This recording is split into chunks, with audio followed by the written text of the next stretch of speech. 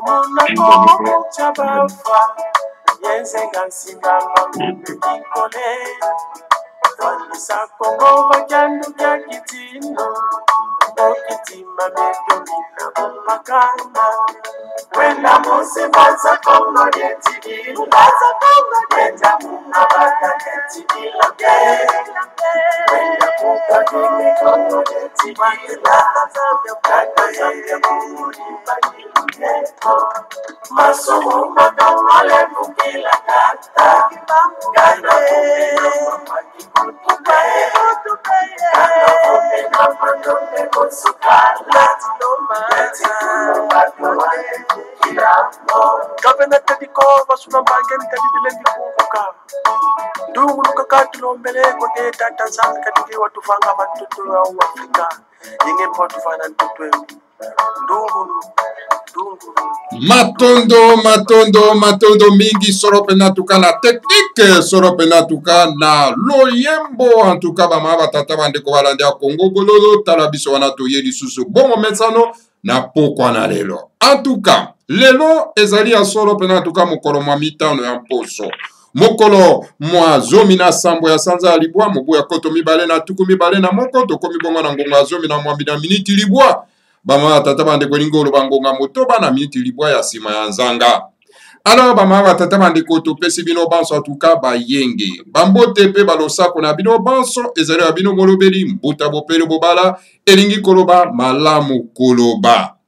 en tout cas édition spéciale congo bololo toyei lelo encore bamama batata bandeko serie na biso donc ya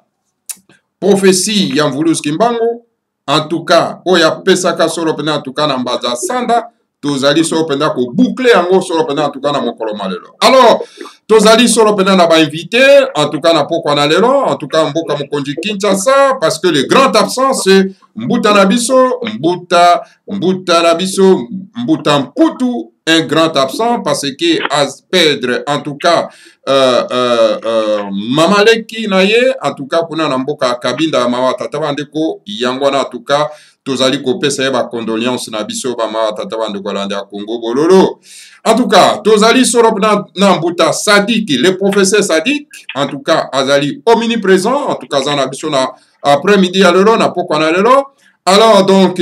alors tokoki kotika mbuta sadiki ye moko te yango wana antuka tomemeli euh, ye solo mpenza bandeko na biso antuka kuna na mboka mokonzi kinshasa tozali solo mpenza na mbuta landu mbuta landu toza na ye awa bango moko bakose presente bien sûr alors tozali mpe na mama akwale ya lobi aye nanu koyoka bandeko na biso mpo ete soki aza mpe na eloko akoloba ako akoloba mama akwala oyo boyebi solo mpenza bon momesano ba mama batata bandeko balandi ya congo bololo alors voilà ba trois ténor oyo toza na bango na pokwa na lelo na édition spéciale congo bololo en tout cas bamama tata bandeko balandi ya congo bololo na yango toke na lombango mpo tokoka kopesa moko na moko en tout cas maloba akoka kose présente na bayi mboka mbuta sadiki na mboka bundes république deutschland topesi yo maloba bayenge mpe bambote balosako na yo Yenge pe mbote mingi papa bopele bobala nasepeli mingi ndenge tobandi yango na temps nakanisi tokosilisa pe na ba 20 heures moins ekozala kitoko mingi napesi mpe mbote na ba ndeko nionso bazali kolanda biso na emission ya Congo bololo oyo ya papa bopele bobala nabosani te kopesa mbote na baninga nionso tokozala na bango maman akwala tokutani lisusu esali mua mikolo ebele Tokutana pe na papa Landu na papa Mputu wana na Cabinda. En tout cas epesi esengo tolobela papa Kimbangu pe tolobela Mvuluzi Kimbangu pe surtout surtout surtout oyo nga nabengaka feuille de route naye apesaki le 10 septembre 1921. matondo mingi matondo mingi mbuta sadiki mbuta mputu aza na biso na pokwa na lelo te pamba te auti kopedre sorope na tuka cher uh, donc euh, membre ya famille kuna na mboka ya kabinda yango wana tuka lelo ezalaki depuis lobi alors donc yango wana tuka lelo vraiment uh, azali na biso te parce que bazali solo mpena koprepare enterrement voilà c'est pour cette raison azala biso te eza te ye ba condoléances na ngai papa bopeli ah. okomisa yango mpe soki akolanda oyo mm-hmm. akoyoka yango ba condoléances en tout cas ekokoma vraiment esi mpe ekomi nakanisi malamu vraiment alors tokei na mboka mokonzi kinshasa tokutana en tout cas na euh, mbuta na biso mbuta landu ye moko ase présente soki na prononce nkombo na ye mabe yako akobongisa yango alors mbuta landu kuna mboka mokonzi kinshasa topesa maloba olobi boni yenge losako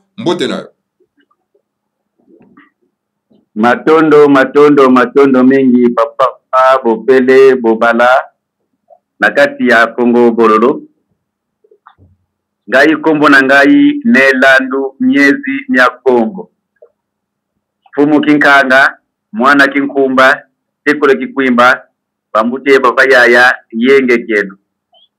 Naza na esengo mingi mpo na kolanda mpe kokota na kati ya emission mpo na kobundela bayindo. Napesi mama Akwala mbote ebele na papa Mputu mes condoleances. Toza kati na ligne, tika ete oyo nyonso kosolola ezala kati na maboko ya ye moko Mvuluzi Kimbangu. matondo matondo mingi en tout cas un buta euh, ne euh, landu alors tokende na lombango encore une fois de plus na mboka euh, deutschland république euh, fédérale d'allemagne tokutana mbuta euh, yaya plutôt yaya akwala yaya akwala yenge mbote mpe balosako no merci matondo nazongisi matondo napesi mpe bayenge na mbuta eh, sadiki ne landu na bandeko nyonso bazolanda biso tokosani bopele bobala te malamu koloba donc lelo vibration eza malamu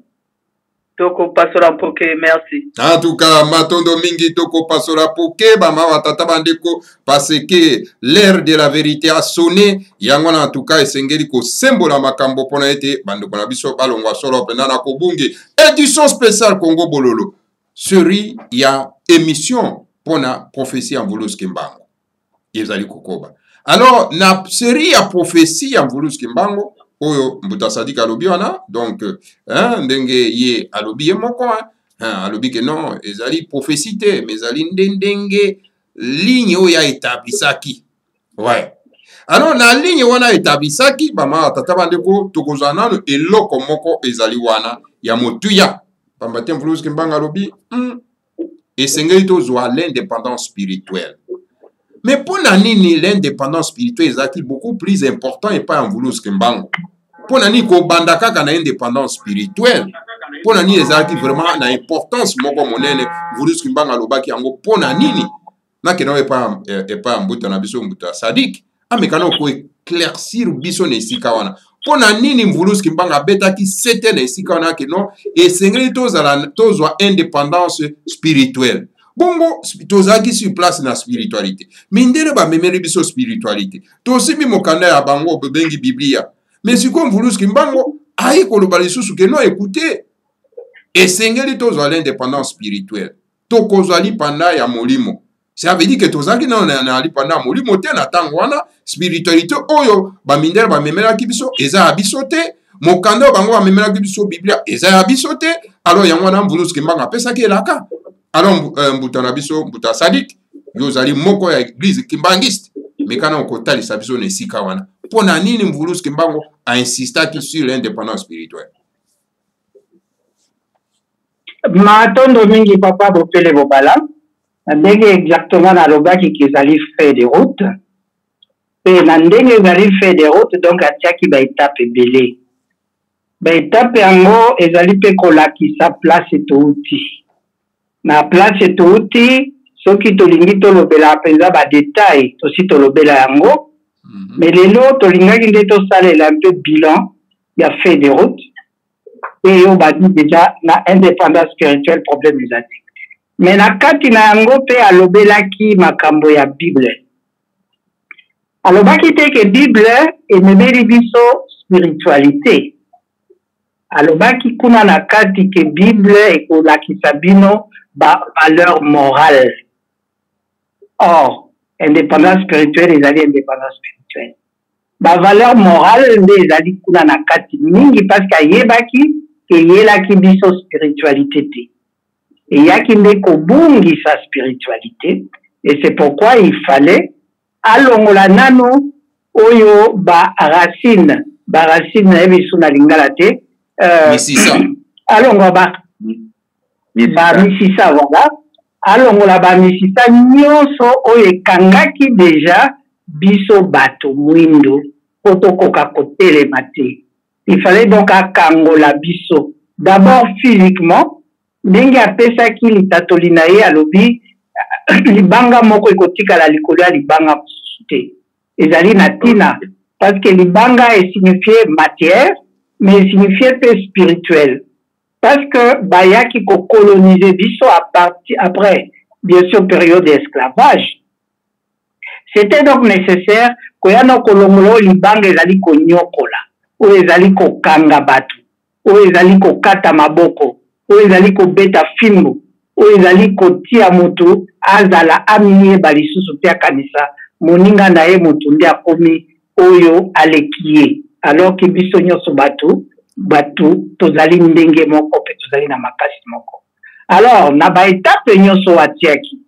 Pe atiaki que guerre ekobima pour que moto muindu afongola miso, a comprendre que mundele oyo wana ye azali kokumisa azali moto lokola ye pe azali kutu kobanga kokufa pe ensuite ye moto muindu kutu aleki ye et du fait que ayaki kutu kobundela ye pe aye kozuela ye victoire.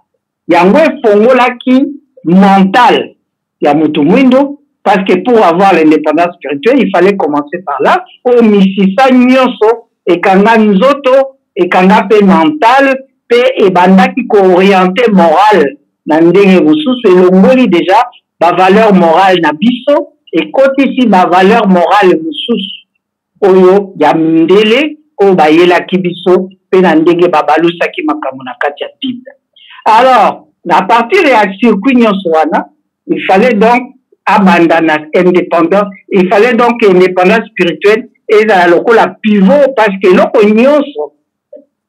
oyo ezali koanime mokili, oyo ezali koanime planète oyo tozali na yango, pour ne pas dire que biso bato toza na planète oyo tozali lokola ba robot lokola ba patin ba patin oyo bakanga singa moto oyo azali koningisa singa ezali oyo akelaki yo alors il fallait donc koluka nano korealize liaison na oyo wana parce que bo bayaki bayaki kokata liaison wana oke tokoma ba patin na bango olia kozala ba patin ya oyo spiritualité na biso donc Par conséquent, donc, il fallait qu'on remette wana et c'est indispensable. C'est pourquoi atiaki yango na kati ya feuille de route comme élément essentiel parce que ce n'est que lorsque wana elongwe ke bokomona bavaleur na bino bokomiyeba bino boko bokoyeba identité na bino mpe bokoyeba kokoba mpe kopose baproblème ya mboka na bino ya oyo environnement ye nzambe apesaki bino mpo ke bokoka kose kokoba bokoka kose develope et ce développement oyo ngai nabengaka développement intégral ya être ezali non seulement développement à partir ya spiritualité mais oyo spiritualité ezali active na monde ya environnement oyo moto ozali kovivre pour que nyonso tu ekota na harmonie na oyo ye moko atiaki na feuille de route na ye papa bopele nazongisi liwa eh, matono mingi mbuta sadike naoki olobi eloko moko wana olobi ke non ekoute na kati ya mokanda wana babengi biblia eza na bavaleur morale est ce que réellement na bible ya de valeur morale mbuta sadike nauti koloba eza na valeur morale oyo ya bamindele batiaki na kati alobaki boko decouvrir ba biloko ba valeur morale ya ba oyo bamemelaki bino yango pe à partir na wana nde bokososola ke soki ezali ya bango to ya bango te obie bayaki nde kokosa bino to bayaki komemela bino bamakambo mosusu donc eza na valeur morale valeur morale ya baoyo batiaki yango basalaki yango lokola yo soki osali eloko na yo kotia biloko no na kati matondo mingi eh, matondo mingi buta asadike me na esika wana est ce que eza na pouvoir na biso lelo kovanda mpe kokontinue koteya bandeko na biso baindo bavaleur morale oyo wana midele batiaki na kati oyo eza koconcerne bango Uh, nayebi te likambo yo ozo kolobela de toute les façons les valeurs morales positives ezali universelle bavaleur morale positive ezali universelle mpe soki tozali na planète terre donc tozali na dualité c'est-à-dire partout il y a le bien il y a aussi le mal Alors, na kati ya Bible, il y a bien sûr aussi les parties positives, oyo batu bakoki kozala na yango, pe bakoki kosalela, et c'est peut-être cette partie-là, nde ezali oyo tokoki kotangisa, tokoki kolobela. Par exemple, ata ndenge tozoloba makambo, tozosolola awa na babiloko ya bamindele, basali ba telefone, ba raison mpo na nini basalaki ba telefone, ezali ba raison na bango me biso tozali kosalela yango na ndenge na biso bien sûr que tokoluka oyo le positif makasi nde tokoutilize le négatif totikeli bango donc c'est la même chose na ta na bible ya des valeurs morales positives oyo tokoki kosalela mpe tokoki koteya tokoki mpe kolakisa bato oyo ya négatif totikeli bango makambo na bango matondo mingi me mbuta eh, sadike euh, balobi biblia ezali mokanda mosantu ezali mokanda mwa nzambe quand on dit mosantu cela veut dire qu'ezali saint elingi koloba ke na kati kuna kokuta biloko ya mabe te il faut okuta biloko ya malamu alors soki eloko oyo boye koconstate ke non na kati eza na biloko mabe eza mpe na biloko malamu estce bokoki kozwa biloko wana eza kwa biloko basanzi yango bien ke eza kongenga eh, sauce ya malamu estce okoki kolia yango lisusu na esika wana estce eza mbeba te eh, papa papa bopele merci batondo osekisi ngai hmm. eh, eza badefinition bamindele bakotisa basin c'est-à-dire oyo ya malamu qu'est-ce qui veut dire eloko ya malamu nzambe azali na biloko nyonso to na kati na ye azali na oyo ezali positif mpe azali na oyo ezali négatif mpe na liaison ya mibale wana na union ya mibale wana nde développement ezali nde progrès ezali soki totali ata na courant bokozwa toujours pole positive na pole négatif e à partir ya wana nde ozozwa courant donc eloko nyonso ezali na planète oyo tozali na yango je peux même dire dans le monde créé ezali na dualité et cette dualité ezali indispensable d'abord mpo na développement ya création ekende na ndenge ifo ekende mais ezali mpe inseparable parce que ezali na yango bongo okoki kokanisa te ke ba nzambe azali kaka oyo asalaka malamu nzambe azali na nyonso azali na oyo ya malamu azali na oyo ya mabe osangisi nyonso nde ozwi nzambe voilà matondo mingi mbuta sadiki tokenda nano eh, na mboka mokonzi kinshasa toyoka reaction ya mbuta na biso nelandu eh, nelandu olandi mbuta sadiki na bokebi profesi ya mvulusi kimbango apesaki elaka alobaki ke avant tosala makambo nyonso tout esengeli tozwa l'independance spirituelle alors oyoki réaction ya, ya, ya mbuta na biso sadiki sikoyo mpo na nini mvulusi kimbango ainsistaki sur l'independance spirituelle mpo na nini spiritualité ezali na importance na vie ya bato eyi koloba ke bakolon bamemeraki biso mokanda oyo mvuluzi kembanga ayebaki très bien ke makambo ya spirituel eza na kati te oyoki mbuta sadiki alobi non kuna na kati eza bavaleur moral bavaleur moral eza na kati donc eyo ezali ya mabe ekozala mpe ya malamu ezali yo réaction na yo ezali nini esika wana matondo matondo matondo mingi papa bopele bobala nakanisi na ebandeli Mondele ayaki kokuta biso bayindo na l'ère de eh, na age, age de meto na age de meto eloko ezalaki kosala c'est la spiritualité nde eformaka ba savant oyo bakocreye oyo esengeli kocreye bakanga bango bamema bango na poto alors tokota na esclavagisme pasi ekota tobungisa religion na biso culture na biso morale na biso mpo baexploite oyo nyonso ezali kati na mabele ya bayindo kolela ya biso bayindo tata nzambe atindaki ange matani na ludi protecteur de verité akitaki na kati ya mvuluzi kimbangu mvuluzi kimbangu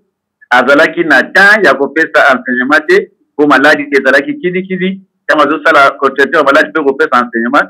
biso moko ba yindo to trahisaki ye yango tango akendeki na mbanza nsanda alobaki ke biso tozo kende tokoki koteya tozui temps ya koteya kozongisa culture de religion negro africaine te mais tozo kende ko preparer instructeur divin oyo ayebi oyo ezalaka oyo ezali na oyo ekoya ntango ekokaki me mwanda nsemi ayaki mpo azongisa religion ndenge asili koloba ke libanga moko te ekotikala kozala likolo ya libanga enseignement moko te ekotikala kozala likolo ya enseignement ya moninga kali l'os noir et l'os la plus ancien du monde l'afrique et le berceau de l'humanité oyo bango bazwaki comme enseignement bazwaki yango na egypte epai na biso alors mpo na kosokola baservo fo kozongisa enseignement wana kati na enseignement wana eh, indépendance spirituelle ekopermettre biso morale ezala bien pose mpo to invente morale ezala bien pose mpo to se dirige biso moko morale ekozala bien pose mpo na koyeba volonté ya tata nzambe isavo la religion ndenge ekoki falela nde kuna nde tokozwa eloko ya motuya bible oyo bayelaki biso mpo na koya koboma religio na biso bamemelaki biso mungwa babiloko ya mike mike biscuit ainsi de suite biso nde toperda eloko moko ya motuya tobungisa kilitire na biso kati na kati ya kilitire nde kuna nde makambo nyonso ezali soki alobelaki te peuple noir po azonga bazwa nano independance spirituelle elingi eloba te po bato na bato bazongela culture oyo ya bato ya bango na kati ya culture kuna nde tokoyebela monene ya tata ya nzambe kuna nde tokofongola baporte ya spiritualité kuna nde tokoyeba kose dirige na politique kuna nde tokoyeba koinvente na technologie donc ezosenga tosala makasi mpo na religion ezonga malgré yango wana me mwanda nsemi ayaki mpona mpona enseignement asalaki mpe livre sacré oyo babengi makongo elobama na kikongo na mabele ya bakongo na culture kongo bie na royaume kongo mpona mokongo azali leader ya, ya race noire po notre bansete na biso ya, ya yambo bakoko na biso ya yambo ne nzala mpandu na mama nkenge lukuma batikaki bato de commandement na lukembo mpo na nini tozonga ntango tata nzambe akoreagir akozongisa biso na culture oyo ya biso mbongo nde toyeba koprogrese sikoyo nde toza baoyo nyonso balandaki longi ya kongo Na bokebi, baza dejà independant religieusement et tozo kota po to kende sikoyo na independance ya esclavagisme ya bo ya ya bowumbu ya ya politique. Ndenge alobaki, Mbuta Mbumba alobaki que tokeyi ko bongisa instructeur divin ye nde aya ko preparer arrivee ya etre puissant mpo na ko detruire mpe kopanza mabe nionso oyo mundele aya kotia awa. Nakanisi na premier independance tomonaki ndenge ba Armagedo, ba Mbuyi Kimbote na bawutaki na Manianga bakitaki na Kinshasa mpo na kobengana ba mindele esengeli to faire taire religion oyo ya bango bazonga na yango, politique na bango bazonga na yango, technologie na bango bazonga na yango. Relation bilaterale ekoki kozanga te oyo ya malamu kati na bango, tokoki ba exploiter yango pe bango pe bayeba kozwa oyo ya biso ya malamu, bayeba ko exploiter yango mais moto ya ko coloniser moninga azali te. Nakanisi commentaire napesi moke na mama mama Akuala boyeba ko develope matono mingi matono mingi euh, nelando wana ezalaki euh, euh, mbuta sadiki moto azalaki na maloba mais nelando sikoyo oyoki ndenge mbuta sadiki alobi abi me na kati ya mokanda oyo babengi biblia oyo mindele bamemelaki biso eza na bavalere ya malamu na ya, ya mabe esengeli tokoba koteya na yango baimboka eh? sikoyo yo tant que moko ya uh, religion ya biso uh, uh, negro africaine yo réaction no esika ezali wana eza nini est ce que bato lelo bakoki kocontinue kotangaka mokanda oyo babengi biblia koteyaka bato kozala bapaster likolo ya mokanda wana ou bien ndenge nini matondo mingi papa bobele na français balobaka quand on n'a pas ce qu'on aime on aime ce qu'on a donc na ntango biso tozalaki na livre sacré te biso bayindo toza kozwaka baexemple na biblia oyo ya bango mpe tozo espere tozo bongola yango na ndenge na biso na culture na biso mpo tomeka moke komona claire me na ntango ya biso bibilia emonanaki oyo babengi makongo tokotanga nyonso na makongo na balivre oyo nyonso tu longi ya kongo akomaki bokomeka koyanola baninga mpo lele wanso mpaka otominanga makinoko elamba ya kodefa ebongisaka mabina te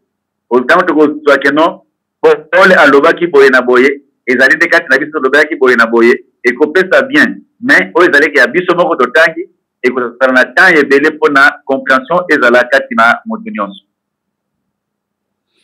Mato... Na, nazali na motuna Mato... ouais. nazali na motuna ok Matondo. na landu alobi ke euh, bakongo bazali euh, euh, parce que tosoli malamu te nayoki malamu te mpo olobi ke bakongo bazali bato oyo bazali koleka bayindo nyonso to olobi boni na place wana ok ne nzala mpandu na mama nkenge lufuma babotaki bana 12 mwana liboso na lukengo c'est le sang de bakongo alors bakongo bango nde bakotelema mpo na koencadre les 12 tribus d'afrique yango omonaka baprofete bakitaka mingi na bakongo soki totali mingi bayaya vita kimba bamfumu kimbangu bane mwanda nsemi mpo na nini baoriente bandeko na biso bandeko na biso bandeko na bango ba bayindo tozala motu moko me na culture ezali kaka moko me lite ezwaka toujours ezalaka na motu na yango meme na première indépendance abako nde atelemaki mpo na kobundela bayindo tobengani mundele po ba independance pe ekoti par ci par là mais memement pona lelo ezali te ke biso nde toleki ba kongo nde baleki mais leader mutu tata nzambe akitisaka mingi ba prophète ba kongo po ba mema ba ndeko na bango na na bonsomi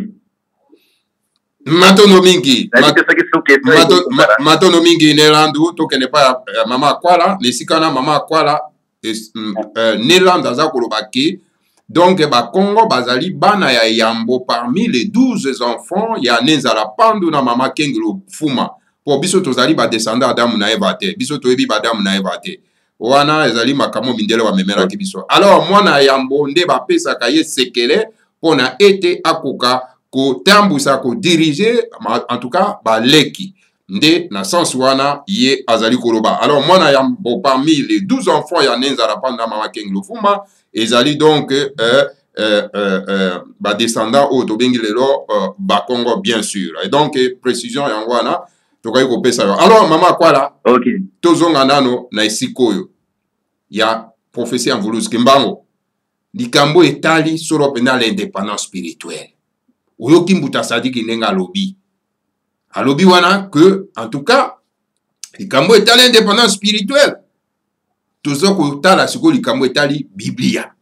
parce que soki toza na présence ya biblia na kati ya mboka engi koloba ke toza na na indépendance spirituelle te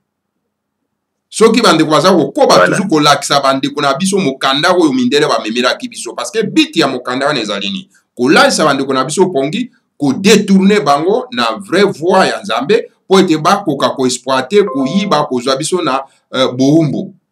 eske lelo oyo okay. lelo oyo uh, mama akwala tokoki kocontinue koenseigne bandeko na biso biblia alo mama kwala merci na question oui opesi nga maloba napesi yo maloba uh, merci uh, nalandi uh, ndenge uh, ndeko sadiki alobi nalandi mpe ne landu ndenge alobi maintenant na question na yo ke uh, est ce que tokoki kotikala toujours euh, euh, ngai nalingi naloba boye nalingi naloba d'abord que moto azalaka nani spirituel c'est-à-dire liloba oyo balobaki que moto e, esengeli indépendance spirituelle ekoma na moto ezali tout à fait normal que euh, simon kimbangu aloba ndenge wana parce que moto azalaka nani esprit moto azalaka nani spirituel avant mm -hmm. abotama azali nani esprit maintenant soki aye na kati ya planète terre na ndenge aya kokuta bakokoso na kati ya planète terre abungi nzela na ye ke ye azalaka nani spirituel okay. akoti sikoyo na kati ya buzoba oyo ye akoya kokuta na kati ya planète te c'est ça donc likambo oyo euh, simon kimbangu aloba c'est pas du nouveau na kati ya planète te c'est-à-dire ezali eloko oyo moto azali na esprit azali na esprit il faut moto acomprendre yango ke yo ozali nani mawungu yo ozali na esprit c'est à dire soki yo olingi osala eloko avant yo otonga ndako n'est-ce pas ezali ewuti nde na kati ya esprit na yo na kati ya bongo na yo na kati na yo ewuti nde na kati na yo donc ezalaki nani invisible donc moto azalaka nani invisible makanisa ya moto ezalaka nani invisible après akomisi yango visible d'où le mot mot ya spiritualité donc comme tosi tobosanaki ke biso tozalaka nani baspirituel Ete oye kobunga nzela na kati ya planète Terre oyo eza na ba kokoso oyo bato basi babunga nzela. Yango naye azoloba que independance oyo bino bozoluka oyo mundele akoya kopesa yo oyo moto aya kopesa yo ezali yango te. Ezali nani il faut yo ozongela oyeba que yo ozalaka nani esprit yo ozalaka nani mawungu. yo owuti quelque part luka luka ki quelque part oyo owuti wana e soki yo yo yo ozwi connexion wana oyo yo owutaki quelque part ni oyo par exemple so na site nde mwana nsema alobaka que euh, towuti to na nzela ya, ya, ya sirus towuti kuna fo tozongela connexion wana e na connexion wana maintenant tokoti na kati ya créativité na biso c'est-à-dire tozali na besoin ya kokanisa te puisque makambo nyonso ezowuta na likolo kuna ezokota na kati ya babongo na biso e tozosala makambo ezokule kaka c'est-à-dire source na bino esengeli bino bozala reconnecte e soki bino bozali reconnecte esili makambo nyonso ekomo ekomoleka ekomoleka lokola mai tout soki okomi reconnecte na source na bino soki ezali sirus euh, soki ezali euh, euh, oyo moto ye moko akodecouvrir ekomi okoti sikoyo na kati ya créativité na yo donc makambo oyo simon kimbangu alobaki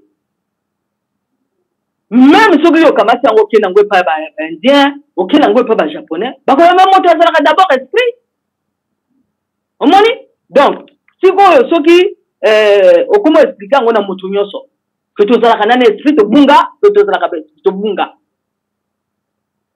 omoni tobunga biso nyonso tobunga tokoma kaka ke no bakolonisaka biso soki eh, soki eh, totuna nani baethiopien ba, ba, est ce que baethiopien bakolonisa bango te omoni donc biso tokoki oloba te ke non tobunda mpo na kobima na kati ya decolonisation ezali en fait kocomprendre nani ke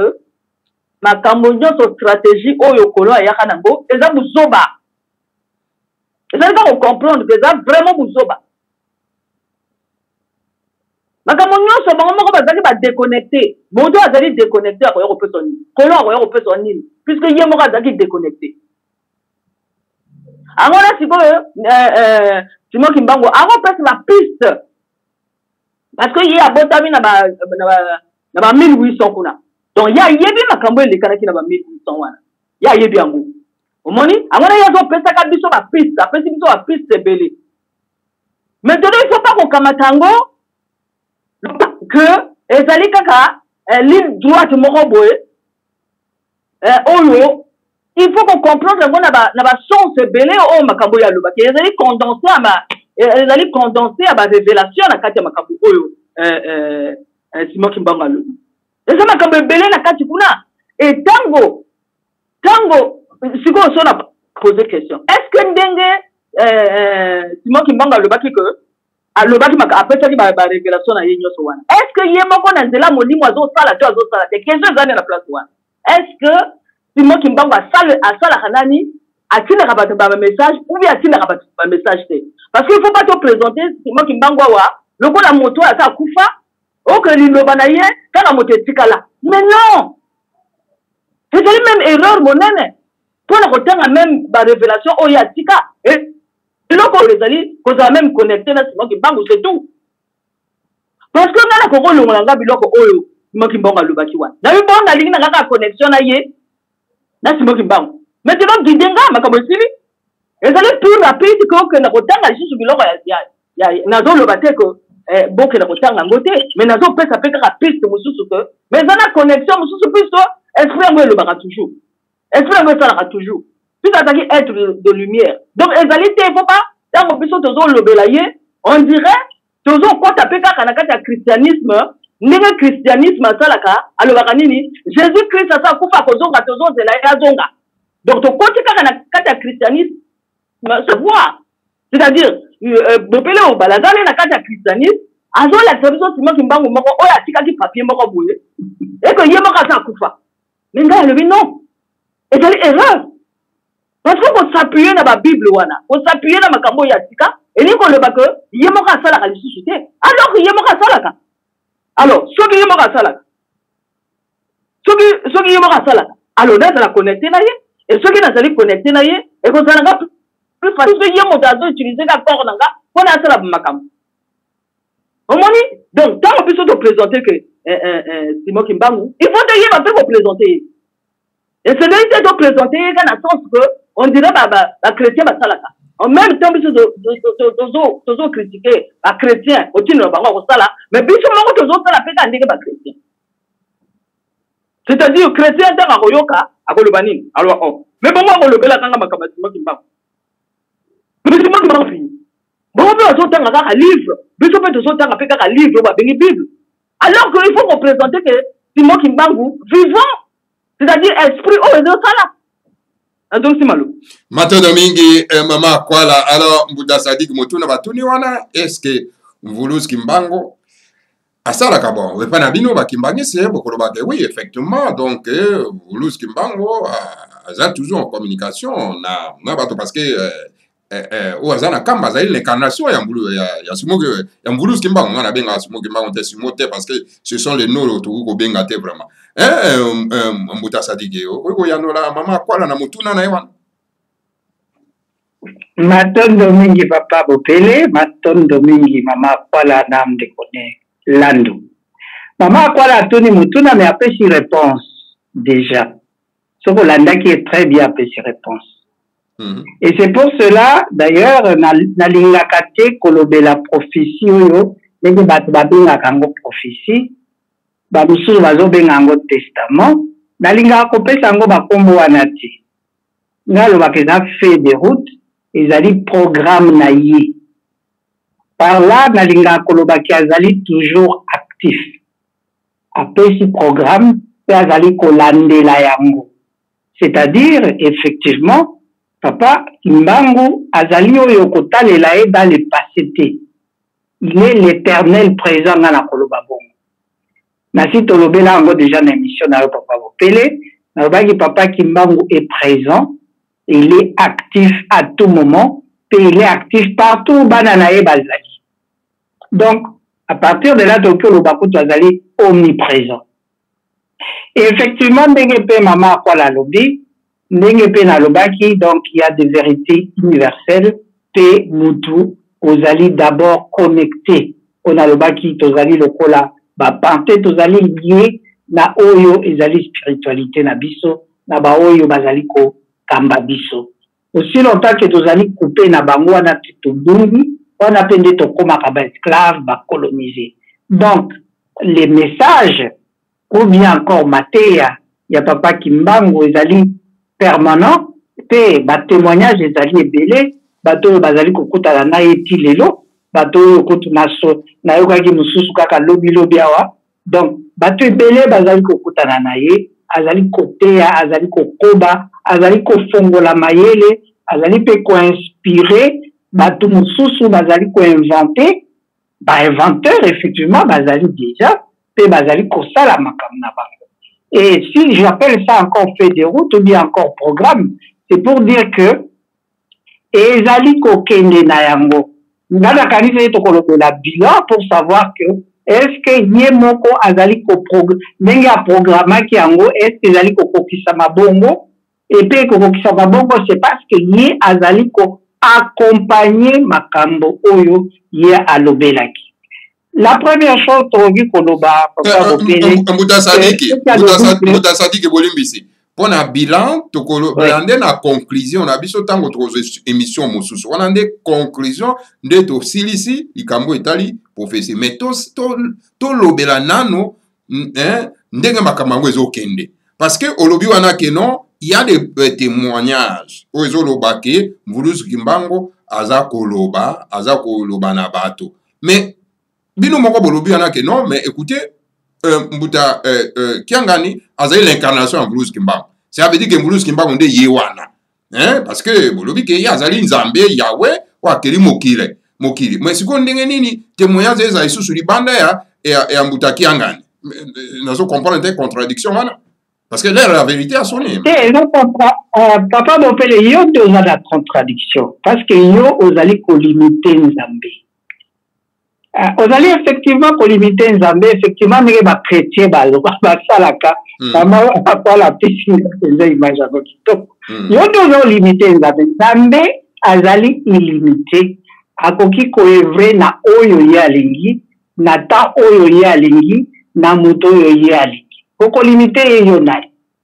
parce que mokili yango ye moto asalaki yango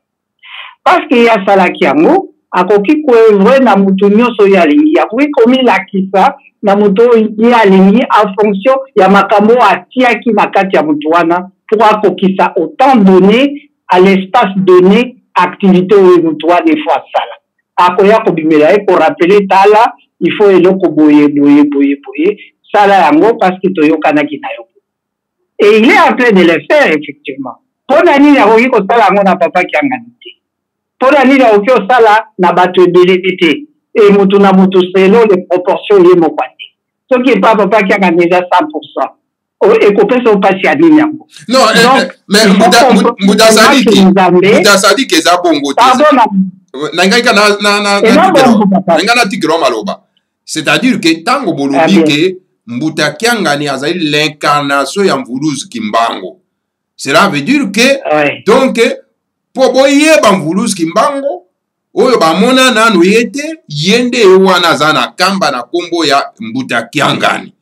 yango nde esengeli tomeka to, ko éclaircir na bato selon l'église kimbangiste yango nga nde naza kotuna oprécise bato l'opinion bazolanda biso nazo comprendre yo très bien mais ozali komitya yo moko na prison yo moko prison mentale mpe okay. prison spirituelle obosani kele papa kimbangu azalaki na prison na lubumbashi bato bazalaki komona ye partout bazalaki komona ye bato mosusu bamoni ye na equateur bato abimi na equateur mpe afandi na bango alei na bango alali na bango mpe aleisi bango afandi na bango ata basimene ata bamwa azalaki komona na bakongo azalaki komona na maniema azalaki komona na province orientale azalaki komona na partout mpe sikoyo il continue la même chose mais yo ozo komona je ne sais pas idee yo oza nango eh, oza komona ye lokola eloko moko eza limite soki abibi awa akoki kobima place mosusu te eh, ndenge nde yo oza nango mais biso toza na ide bongo te non seulement ide mais tozali na na, na, na expérience ya bongo te l'expérience que nous avons ezali expérience que ye azali illimité mpe azali kosala makambo ndenge yali la fait aussi que soki bato ebele soki babimeli ye soki abimeli bango mingimingi mpe asukaka kotinda bango na nkamba kende na nkamba kende na nkamba ke bamosusu mpe basi batuna ye motu na yo ozoloba wana napesa yo moko dernièrement bazali kotinda ye na nkamba tout moment aza kokende mpe kokutana na papa simoki mnongo kiangani alobi kende oyebisa kiangani boye na boye akei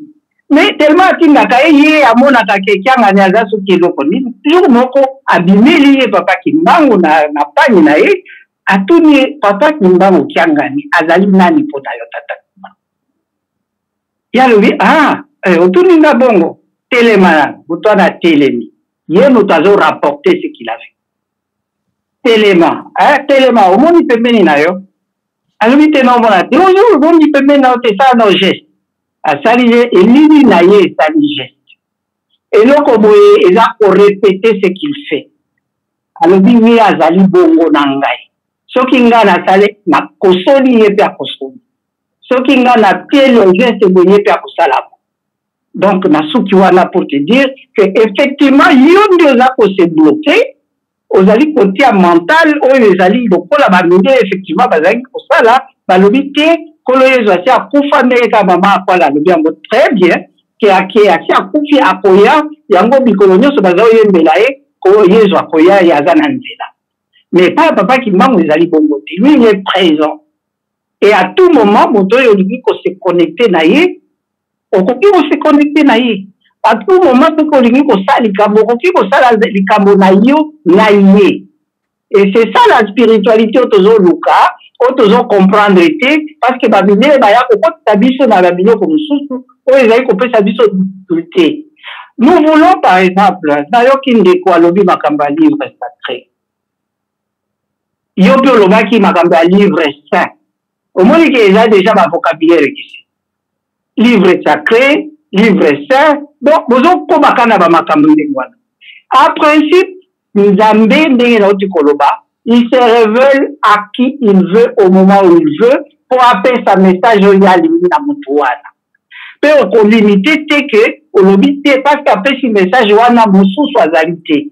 parce que azali dynamique parce que azali kosala progrès ya makambo na ye aza kodevelope makambo na ye epa moto boye abimisi eloko ya mathematike epa moto mosusu akobimisa mathematike na baaspect mosusu epa moto mosusu akobimisa mathematike na aspect mpe mosusu okoloba te parce que abimisaki oyo mathematike awa oyo mosusu wana ezali fo eza fo te ça se complète paske ye azali kosala likambo na ye awa abimisi notion ya boye awa abimisi notion ya boye ça se complète nyonso wana il faut kocomprendre wana et c'est ça qui nous bloque mpe mondele ablokaki biso bongo mpo ke to réfléchir na ndenge na ye en fait ke tokoka kose retrouver te parce que alobi na biso te kimbangu akufa biso mpe tozo repete kimbangu akufa o oh, nzoto na ye ezali boye mpe tozo discute là-dessus il nous distrait na biloko eza na yango réalité te c'est ça le problème papa mpe matondo matondo mingi matondo mingi nguta sadiki toyokana o réaction ya euh, nelando nelando mvuluzi kimbangu alobi ya kili azongi na mokili ya molimo alobi que en tout cas azwi temps te ya koteya la mystiki congo mais l'instructeur akosenga na tata na nzambe ya pongturendo bakoka kotinda l'instructeur mpo ete akoka koya ko mettre sur pied, sur pied je vais dire donc mokanda mosantu ya baindo alors na esika wana oki ndenge mbuta sadika alobi wana natuni ye motuna oki réaction na ye abike vulus kembanga aza kobimelaka bato nyonso tu donc eh, balobi wana ke non euh, celui qui akamba azali l'incarnation ya vulus kimbangu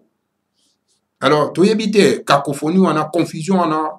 fo kopesa biso précision kopakola kopasola poke parce que l'air de la vérité asone mpo na kolongola baindo na bobungi olobi boni matondo mingi papa na nyonso oyo tosili koyoka ndenge mama alobi nze bayebelaka mbuma ya malamu na eh, mbuma ya malamu na nzete na yango ntiwa mbote elunza elamu mimbutu donc nzete ya malamu bayebelaka yango na mbuma Kesadia Biza Lunza Elamu Mavanga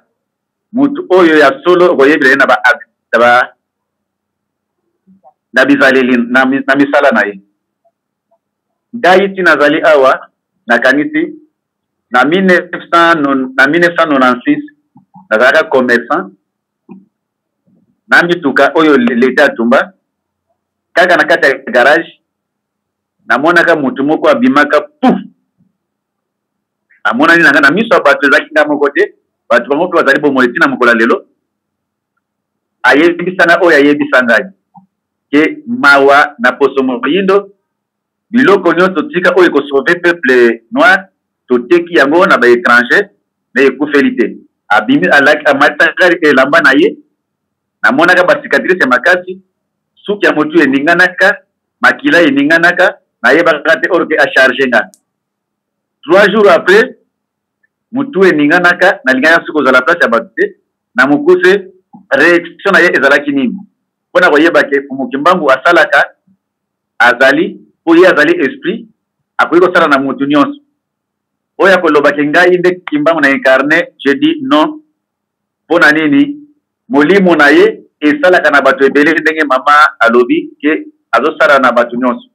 na 2006 bitumba ekweyaka na matadi babeta biso masasi topupola masasi mpe tozali kolimwa na champ de bataille fofana journaliste ya nani ya kimbanguiste atia debat ouvert Finalement, aloba nini? Soki totali na Bangunza, Kimbangu, Bangunza balobi Kimbangu aza nde kuna. Toke na Kibangiste, Kimbangu nde aza kuna. Toke na ASEC, na ASECA, Kimbangu nde aza kuna. Toke na DKB, Vuvamu, Kimbangu nde aza kuna. Toke na BDK, Kimbangu nde aza kuna. Siko KBN, tosala oyo tosala, donc Mfumu Kimbangu totalela ye na presence ya mutu te, mais mfumu kimbangu totala ye nde esprit na misala po ngai lelo nakoloba teke lokola monana na ngai nakende se présente ke ngai nde kimbangu comme bato aseke balobaka nenga kimbangu ainsi de suite l'incarnation ya kimbangu là je dis non nakondimela yango te po oyo ye asalaka kati na ngai to ye emonanaka nakangami awa nake na prison kosamba na nga nazalaki toujours en contact na ba ancêtre tosambi mpe tolongi tobimi donc esprit wana esalaka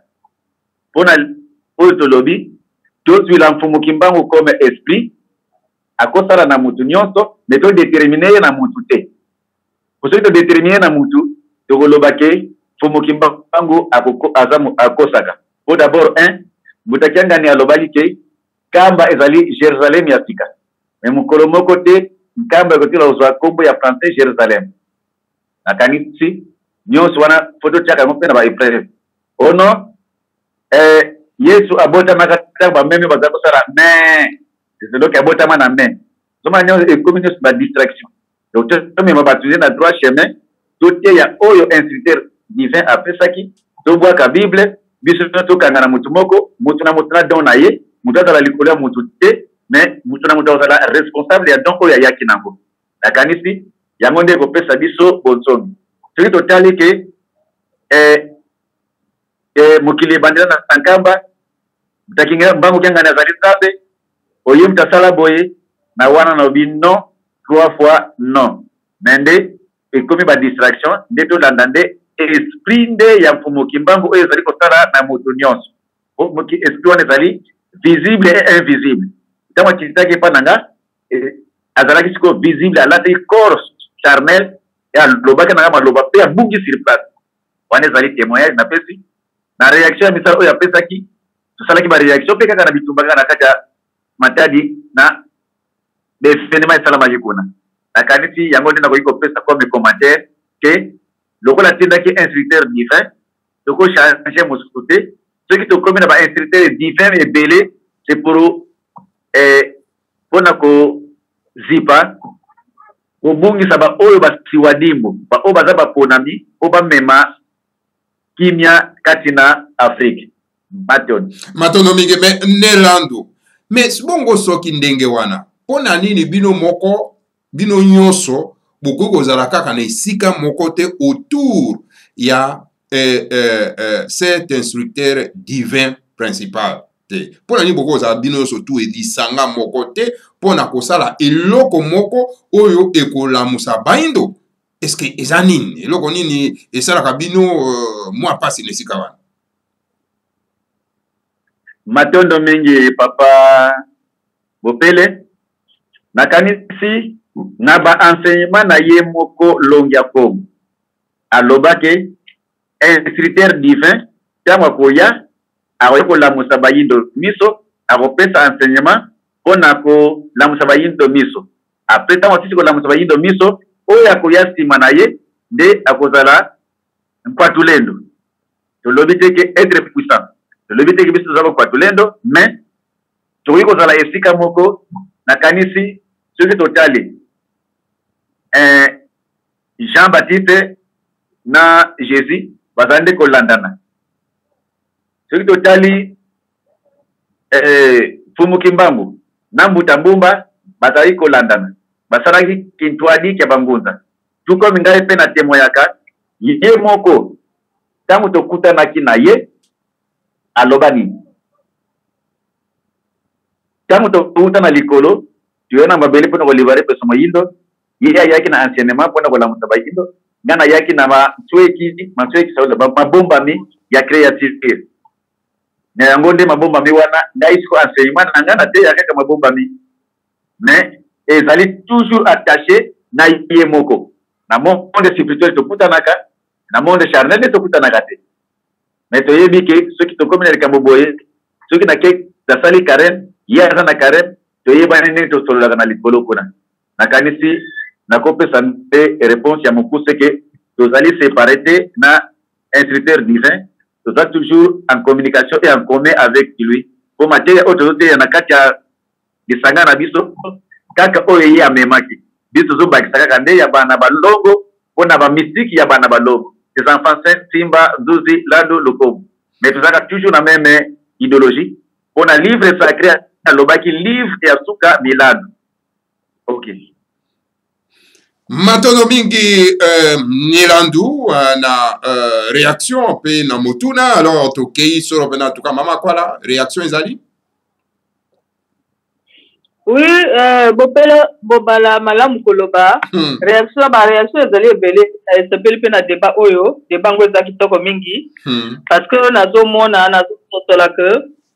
euh, c'est-à-dire bato bazo euh, awa na kati ya na kati ya débat na biso awa hmm. bato bazolinga bible te bazolinga bapasteur te mais bazo se comporter lokola eh, bapasteur yango parce que nini parce que bible yango ekɔta na kati ya bafamille ekɔta na kati ya motu ya bato to nani babimisi bible yango tu na kati na bango te parce que okomona bakokamata toujours baexemple fo alo awa na kati ya bible balobaki boye basalaki boye biso mpe tozosala boye c'est-à-dire bango bakoki kosala eloko na bango bango moko te sans que bacompare yango na nkamba sans que bacompare yango na bakibangi eni yango moto ezopesa nga epesa nga mawa c'est-à-dire parce que bino boza na croyance na bino et que soki bato ya nkamba balobi que interprétation na biso ezali boye bino olobi te ezali yango te bino bolongolaka kuna boyaka kaka epai ne mwana ntemi parce que ezali ne mwana ntemi mais wana interprétation na bino soki tomoni maboko na biso awa toza na misapi no estce misapi tu eza ndenge moko me mpo ani bino olinga bato tu bazalaka ndenge moko parce que ezali meme pas nature ezali bongo te nature ezali meme pas que banzete nyonso ezalaka ndenge moko donc mpo na nini bino ozolinga kokamata sikoyo bato baza na kamba bato balandaka bango pourquoi mais seke bino moko mpe boza na kati ya verité te epo na nini bino bolingi bapasteur te mais parce que bino moko mpe bozokamataka biloko ya pasteur bozokomisaka yango ekoma ya bino parce que bozoluka bandimi bozalaka na nsima bandimi omoni parce que Debat oyo ezali debat te que biso toza na ligne na biso biso tozo landa boza na boza na kati ya debat wana te boza na kati ya debat ya ko ya ko comparer ya ko comparer kemba makambo bo citer que toujours bible mais bo sauter na ni bible yango bo sauter na ni nkamba bo présenter ka oyo ya bino moko c'est ça debat nde eza na place wana parce que nga nayi ko comprendre na debat ya lelo que mais nani boza nani kaka na kati ya bible bokosa bato te ke bino osi obima na kati ya bible ke bible nyonso esi ebima na kati ya bongo na bino non yango wana bokoki kozala reconnecte na makambo oyo eh, eh, simo kimbango alobaki te ke biso eh, bokosala nani ya indépendance spirituelle mais indépendance spirituelle yango elingi mpe koloba ke bobima nani na kati ya bible bino otanga wana c'est ça aussi botanga bible trop bovanda trop na kati ya bible yango wana toujours bible na kati ya monoko na bino ezanga te omoni donc reconnexion yango na simo kimbangu na monde ya baesprit nani tosala yango te nani tosala yango te meme eh, eh, longi ya kongo longi ya kongo mpe azali mpe kaka na esprit mpe kaka ya bible wana na kati na ye omona toujours ntango ye aloba toujours jesus ezalaka akenda azonga akenda azonga akenda azonga donc soki ne mwana nsemi azosala makambo na ye ma asala makambo na ye sans nkamba asala makambo na ye sans kocompare na nkamba yango minde epesa ba conflit kasi eloko nini bolingi mpo na nini bo il faut bandimi oyo baza na nkamba bakende balongola kuna bongo nga motema na ngai ekita ke wi nga na réussi kokita nkamba nazwi bandimi tu bakoma olanda nga est ce que ezali makambo ya quantité est ce que eza makambo ya quantité eza makambo ya qualité eza makambo ya quantité te eza makambo ya kolongola bato ya nkamba kuna bakoma sikoyo babundu ya congo te non eza makambo ya qualité eza makambo ya reconnexion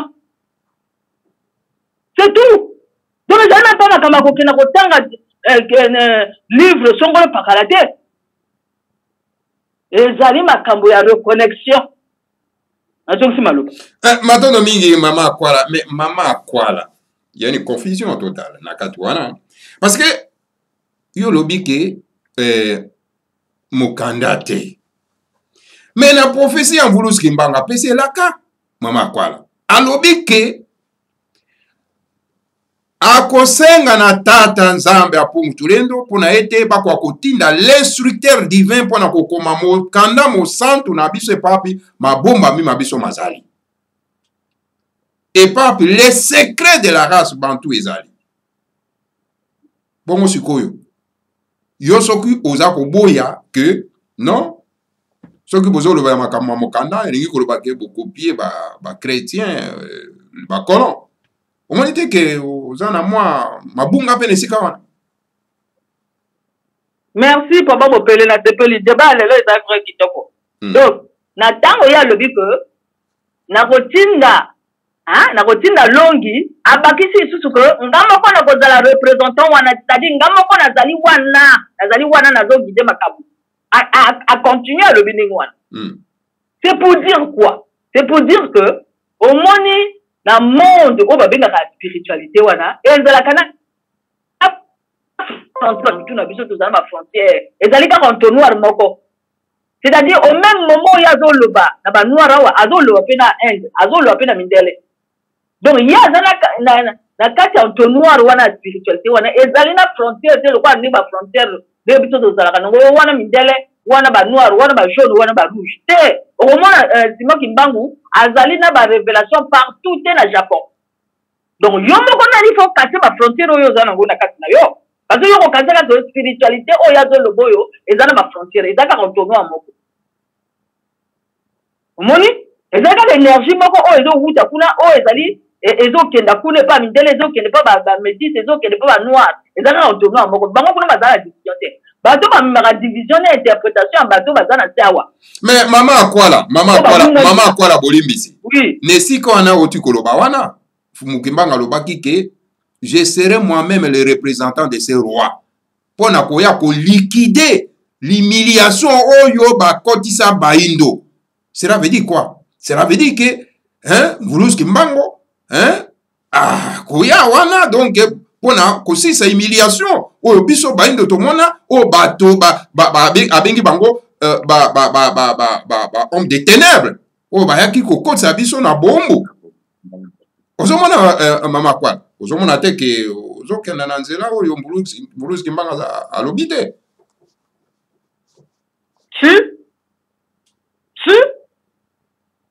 soki alobi ke nga moko nakozala wana esprit wana ekozala wana no énergie wana vibration wana ekozala wana mpo na kolikide les hommes de ténèbres e les hommes de ténèbres eza bamindano bayaki kokosa biso na boumbu oui mais justement nelando awuti koloba awa ayoka azalaka na contact na ye un ntombo azalaka na contact na ye amonaka makambo nyonso ndenge nini ayokosa mosala na ye eloko nga na eh, oza na problème ya interprétation papa na nga ou bien oza na oza na problème ya nani est ce que yo oso oso oso vivre oso vivre euh, euh, simon kimbangu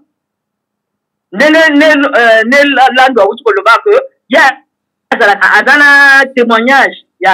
est ce que yo oza na témoignage na na simon kimbangu na mvuluzu kimbangu oza deja oza na témoignage na ye te eh, ngai nakotaka na ngai nakotaka na ba témoignage te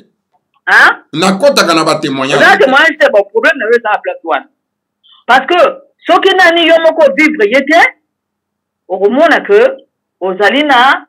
euh, oza na mpasi ya kocomprendre baninga me ndenge lelo langue azoloba ngai nazokoma nga moko mpe naza na témoignage na ye omoni ya vibration wana eza vibration il faut ozala vibration il faut, il faut, il faut vivre vibration wana eza lokola ntango nani yo oyakaki na allemagne te ozali kaka na, na congo kinshasa okoconprendre allemagne ndenge mosusu ubie poto ndenge mosusu mai ntango yo moko oyi kovivre na poto obi o oh, biso tokoreve na biso kaka mai ntango toyei kokumovivre makambo yango na allemagne awa tokumoyeba makambo ya ballemand omoni donc makambo oyo tozoloba ya, ya, ya, ya vibration ya simon kimbangu ezali réalité yo ozovivre ozovivre vibration wana ozovivre énergie na ye yango wana alobaki ke nga moko na kozala wana c'est-à-dire nga moko na kovivre bino to moto akotia yango tembe aza te omoni soki ye moko akovibre na kati na biso me ngai naza na besoin ya mokanda te naza na besoin ya kosala débat mpo na mokanda oyo ne mwana nsemi akomi te oyo soki banani banani bakomi te nakovibre na ye se tout Nini kama wana akoloba ko yo luka vibration luka ye mama akwala mama mama akwala mama akwala zala pied posé zala nao na pied posé okoki kovibre te sans mateya wana oyo apesaki elaka mama akwala okovibre dans le vide okoki kovivre te sans mateya parce que ye moko apesi apesi elaka ke longe akoya mpo na kokoma mateya wana oyo ekopesa biso vibration ntango yo ozwi mateya wana ondi okokɔta na vibration okoloba dans le vide te c'est ça le problème mama akwala mais nelando azoloba azoloba kati ya le vide nelando congo azoloba na kati ya lovide ye alobi aza na vibration yango aza akuta na vibration yango azoloba na kati ya lovide mais parceke aza na kati ya mateya aza na kati ya mateya wana aza na kati ya mateya wana yango aza na kati ya vibration wana aza, aza deja reconnecte nonce pas na monde oyo ya biso tobungisa oyo mindele baya kobungisa biso c'est ça mais bato ya nkamba mpe baza reconnecte melo problème eza wapi mais ntango ozali koteya bato ntango okozala reconnecte te parce que oza na mateya te ntango yo ozotanga bible bible ekopesa yo reconnexion bible eyaki mpo na kobungisa biso sikoyo ekopesa yo reconnexion na monde oyo ya biso tobungisa ndenge nini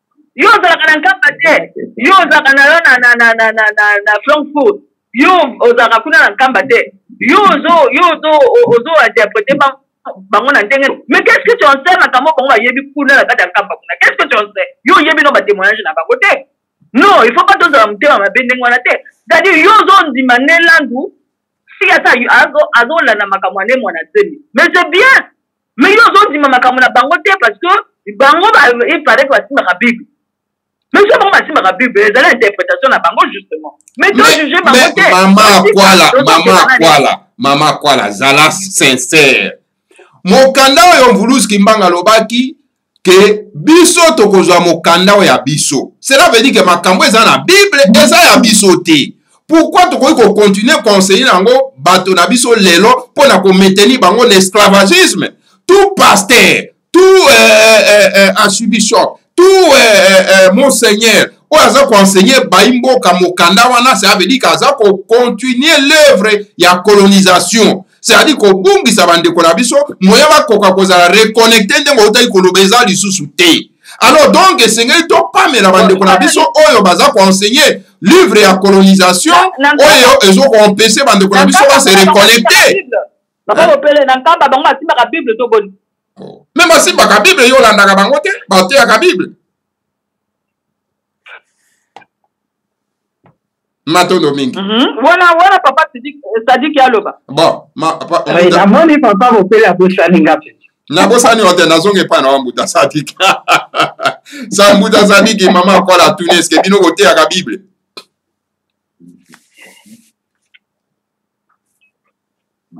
nalingi nano nabanda mwa ebandeli papa bopele mm. Na makambo ne Lando auti koloba, alobi bien mais akoti pe na ba contradiction moke oyo pe mama Akwala auti ko releve. Hum. Papa ne Lando auti koloba moto na moto azali na don na ye. Alobi yango. Pe nazali tout à fait d'accord. Pe nalobaki yango. Sikoyo de quel droit yo ozali na don na yo yo ko contester don ya moninga? C'est ce qui est bizarre. Yo oza na don na yo, sala oyo don na yo esengi. Moninga aza na don na ye, tika asala oyo don na ye ezali. Oyo mosusu mpe akosala na don na ye esengi. Soki tosali bongo, exactement ndenge mama akwala oti koloba, loboko eza misapi. 5 mais nyonso eforme loboko moko mais loboko na loboko mosapi na mosapi eza na ndenge na yango mpe ezali na bapropriété na yango donc c'est ça le grand problème soki problème wana tocomprendre yango tokolongwa na isolation ye oyo biso moko tozomitia na yango notre mental toza kobloke yango Koloba papa kimbangu azali reincarne ou pas c'est toujours encore ba ba ba nini oyo toza komitia na mitu na biso parce que je connais batu mosusu baza temoignage ya kimbangu ayaki kofana na bango na ndako ça ne fait pas encore quelques esali kutu ata inane te afani na bango na ndako banda tongo ti pokwa pe asali quelques jours na bango papa kimbangu azali kosolola na bango aza koteya bango mpe azali kopesa bango malamu parceke bato wana bazali na eloko ye atiaki na kati na bango mpe ayebaki a tel moment eloko wana na kosalela yango na kati ya moto wana nabotisaki ye na mokili ça n'a rien avoir avec kotanga to kotanga te papa bopele Eloko oyo Nzambe atia, otanga otanga te l'heure nango ekokoka ekosala likambo nango. Est ce que papa kimbangu ye akota classe nini? Mais l'heure likambo il fallait esalema esalemi. Ça n'a rien à voir na kotanga to kotanga te papa Bobele. Verbe kotanga c'est encore ba mindele nde ba memeli biso. epai na biso ezalaki bainitiation ezalaki kosalema mpe moto na moto azalaki kobimisa oyo ya ye donc tolongwa mpe na caricature oyo bamindele bapesa biso mpe ebandi kosala nga parfois mawa komona biso bato mingi tozodiscute kolekisa energie na biso sur biloko oyo mondele atikeli biso mpe atikelaki yango pas en connaissance de cause en sachant que eloko wana bakolekisa ba energie na bango bazodiscute eloko wana entre temps ye aza kosala nde makambo na ye mpe azali kotia biso na esclavage le problème actuel c'est pourquoi je parlais plutôt de bilan c'est de savoir tozali esika nini na kati ya eloko wana le livre sacré c'est encore dans terminologie na biso le livre ese c'est encore terminologie na biso mais soki toaccepte ke motu na motu azali na don na ye tokoaccepte ke papa melandu kuta oti koloba eh, papa monase naza ayaki kopesa oyo enseignement ye aza kopesa oyo ya ye na elema oyo batiaki na kati na ye mosusu mpe akopesa na ndenge na ye na elema oyo nzambe atiaki na kati na ye mpe papa kimbangu aza kokende kolamusa bana na ye nyonso wana mais yo koboya mpo na nini je ne sais pas pourquoi okoboya parce que etali kutu yo te makambo yango kutu etali yo te ndenge eza organise yo oyebi te mpe bakoconsulte yo te azali kosalela yango ndenge ye amoni na mokili oyo ndenge asalelaki yango mpe ndenge azali koorganize yango feuille de route na ye aza kolandela yango pas à pas à cette époque eloko te lekosalema na kosalela yango par exemple na papa bopele Eh bien heure epoque wana ekoki aye epa no papa mopela alamusi yo pe obandi kosala likambo lere alamusaki ba mwa eh, babe mwandaseli c'est pas parce que atangaki chimie batangaki te ça n'a rien à voir lere ako abimeli par exemple papa nani oyo papa papa euh, papa oyo asalaki mandombe Eh bien, ça n'a rien à voir soki atangaki to atangaki te abimeli ye alakisi ye likambo parce que alobi à tel moment likambo wana efo ebima na mokili à tel moment likambo wana efo ebima na mokili na précise kutu ata mama akwala lere mpe auti koloba ntina inde ntina bajapon baza komona kimbangu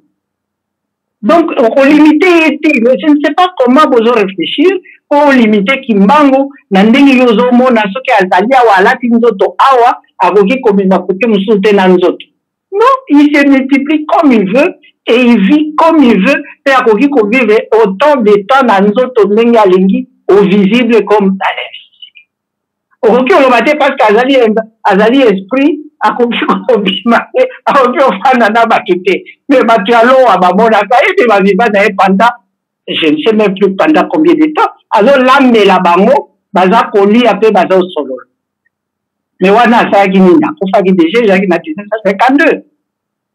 bamosusu na bakongo bamonaki ye mpe ndenge wana bamosusu mpe nako no il faut totika batheorie oyo ya bamindele batya ekasa kati na biso mpo ke makambo wana ekobala yango tolongola babarrière oyo biso moko tozomisalela effectivement ayaki kopesa biso oyo federoute En tout cas, na sepeli pe na na ninga bisa lelo pe obama akwala ye pe kopesa belema ya kitoko pour comprendre que ezali lokola enseignement moko condense ezali na badegre ebele kuna na kati yo komonaka ndenge alobaki longi akoya yo ozozela kaka motu moko nde ifo aya mpe asala likambo wana mais ezali na ba dimension ebele parce que ba dimension yango ezali ebele il faut seulement accepter ke aye il controle likambo na ye awa akobimisela moto oyo ya mate ndenge nalobaki kote mosusu akobimisa ya physique ya ndenge nini kote mosusu akobimisa astronomie pele abimisi astronomie wana kokanisa te ke ezali kaka wana baelema mosusu ezali na kati donc il ne faut pas limiter ça soki mpe sikoyo oke nkamba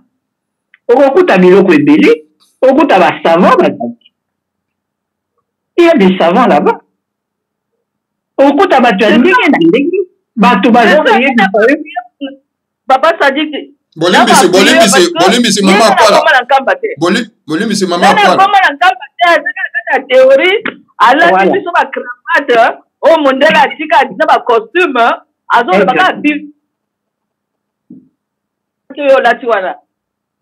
obele mobala bolimbisi eh, mbuta sadika sisa raisonnement na ye ok merci eh, mama kwala merci merci eh, yango par exemple nakambo kokuta bato nyonso tu Okokuta ba oyo bayebi bible au fond. Oyo papa Kimbangu aza kolakisa bango ba point, alobi tala place boye babakisaki, tala place boye balongolaki, tala place boye ezali boye. Okokuta mpe bato oyo bazali kokoma mpe mokanda oyo aye kobimela bango aza koyebisa tala koma boye boye boye boye boye likambo oyo ezalaka boye boye boye likambo oyo ezalaka boye dans tous les domaines ezali na yango Malheureusement yo okenda kuna te pe okoyeba te. C'est ça le problème. Oyo pe baoyo bazali libanda bango pe soki bazali bakanisi kaka bango moko nde kimbangu abimeli te kimbangu azobimela bato nyonso et c'est là que moi je dis toujours il faut tozala na stratégie ya victoire c'est pas la première fois nalobi terminal joan stratégie ya victoire elingi oloba nini toza na équipe napesi exemple équipe ya football Moto na moto kuna na kati azali na role na ye. Oyebi ke oyo soki na pesi ye bale, ye asalaka boye, ye asalaka. Okoboya kopesa ye bale te parce que bozolinga ko gagner. Alors biso bato mwindo tellement tolekisaka temps tozali ko s'entre croiser, s'entre discuter, s'entre tuer, eh bien au lieu to gagner tozo gagner tozo perdre temps. alors le tozomona o wana kimbangu azomona bino bozozisi mpe ye ake kokundola bana na ye oyo atielaki makambo na bango na kati makambo na ye na kati na bango le abimisi bango oyo okontiste babandi kosala oyo oh, otangaki livre oyo te kimbangu ne pas limite na livre ndenge papa mama kwala alobi ye azali universel azali connaissance moko infini soki okoki kose represente biblioteke moko universele oyo eza na biloko nyonso tu mpe azali na bana na ye oyo abimisaka bango mpe abimiselaka connaissance na ye na kati na bango ce n'est pas nécessairement qu'il faut koleka na tel livre to na tel livre bato bazali na bavibration ekeseni lere apesi yo vibration apesi vibration na fréquence moko détermine na fréquence wana okobanda okapte biloko ezali ye na fréquence wana mosusu apesi ye vibration apesi ye na fréquence na ye mosusu po wana mpe akokapte makambo na ye na ndenge na ye donc il faut euh, je ne sais pas enfin jusque là en tout cas natika nasuka na wana mais lokola mpenza karka wana oyo bamindele bakotisa biso na yango mpe tozali kobunda kuna na kati croyant que tozali na kati te alors que tozali na kati ya colonisation mentale mais mbuta sadik me ntango yo ozoloba ke kaka mindele bakotisa biso na kati me bato bazali bapromotere ya kaka wana mindele bakotisa biso na kati ezali bino parce que lorsque vous continuez à enseigner nos nègres la bible coloniale la bible romaine bozo komaintenir bango na esclavagisme alors esengeli sikoyo biso totelema mpo na koloba stop na livre wana babengi la bible eh, romaine oyo ezali l'œuvre ya bacolonisateur bayaki nango mpo na balayisa biso pongi mpo bapie biso yango wana eh, président kaunda alobaki kimondele ayaki na bible alakisi biso ndenge ya kokanga miso mpo na kosambela biso ntango tofungoli miso biso otika na bible bango bazwi mabele na biso comment on peut continuer à enseigner nos frères et sœurs donc mokanda oyo ya bacolonisateur parce que ezali evre na bango yango wana mvulusi kimbango bozokota en contradiction mvulusi kimbango c'est pas pour ye alobaki ke tokontinue kotanga mokanda oyo mpo tokokanga moyibi na eloko na yaki nango mpo lokuta na bango nde tokokamwa na kati ya bible paske biso moko tokozwa mokando ya biso epai wapi mabombami c'est-à-dire les choses et secret caché ya biso eza na kati me mpo na nini kokontinue kopepetika na silisa mpo na nini kopepetue kokosa bandeko na biso na kati ya mokanda ya bakolon olie ke tozwa mokanda ya biso soki mondial akomaki ah, donc boke koembrase yango mais ça ne va pas là même buta sadik nous devons dire la vérité rien que la vérité bino bato ozokosa biso ozokosa baindo ozo maintenir bango na esclavagisme eh oui merci eh, matondo me nalingaka yo mpo ozalaka lokola elève moko aza fidèle oh là là. Hein? comprendre bien terme élève c'est-à-dire l'élève qui répète baterme ya professeur na ye sans réfléchir azo répéte yango kaka oh ba voiture yo ozo tambola na mama akwala kototi loba bilamba ozolata eza cravate eza kaka mondele wana yo wana ezali tere atere makambo ozoloba ngai tika mpo na yo nasi bien que ye moko alobaki continuer à lire la bible Parce que na kati ya Bible wana boko decouvrir ba makambo ebele mpe bokanga moyibi na eloko ayibaki. Aussi longtemps que yo oyebi nano valeur na yo te, aussi longtemps que yo oyebi nano place bakosaki yo te, tu es encore susceptible d'être trompé. Aussi longtemps que comprendre na identité na yo te, tu es prêt à prendre n'importe quelle identité. alors il veut que yo okola ocomprendre place bakosaka yo mpe bakosaka yo kaka na place moko te tu peux comprendre tu peux croire ke bakosaki yo kaka na politique bakosaki yo mpe na spiritualité bakosaki yo na mpe bazokontinue kokosa yo mais il faut éveiller l'esprit mpona kocomprendre wana alors pour arriver là yo ozali elève moko fidèle mais il faut suivre aussi ba enseignement ya maître na yo soki ozolinga yango mpenza papa kimama alobi continuer à lire la bible mpe heure moko il n'a pas indiqué l'heure mais alobaki je serai moi-même alors tolandela kaka ye yango nazolinga mama akwala ndenge azoloba se reconnecter avec lui c'est lui qui va nous indiquer Ako indiquer mutu na mutu na aspect na ye na don na ye ndenge apesela ye. Soki apesaki yo papa Bopele don na yo ya kosala ki journaliste, okozala interesse na biloko ya journalisme pe akopesa yo science ya journalisme. Mais lelo apesi papa Sadiki eh, science ya par exemple ya kosala mabanga libanda. Yo okoloba te te eza mabanga te il faut kaka kosala journalisme. Non! Eh c'est ça un peu nayebi te problème boza nango. C'est un peu ça qui fait la difficulté. Et bon, c'est quand même bizarre qu'il est à la bombe. De plus, tellement nini fait des routes en eza ba dimension ebele ndenge na lobaki ezali multidimensionnel eza ba na baaspect mpe pédagogique na kati alors ezali parfois ya kozwa mpe à la lettre te donc il faut kocomprendre badimension ebele ezali kuna na kati bo soki sikoyo ozwi yango à la lettre tu peux te compliquer c'est comme mwana moke ba pesi ye na lobaka na exemple wana na yo eh, ba yebisi ye un moins deux ezali impossible eh bien ye ti akokola akobanda orepete kaka impossible alors que heure moko bakoyebisa te ezalaka impossibilité comprendre ke ezalaka moins un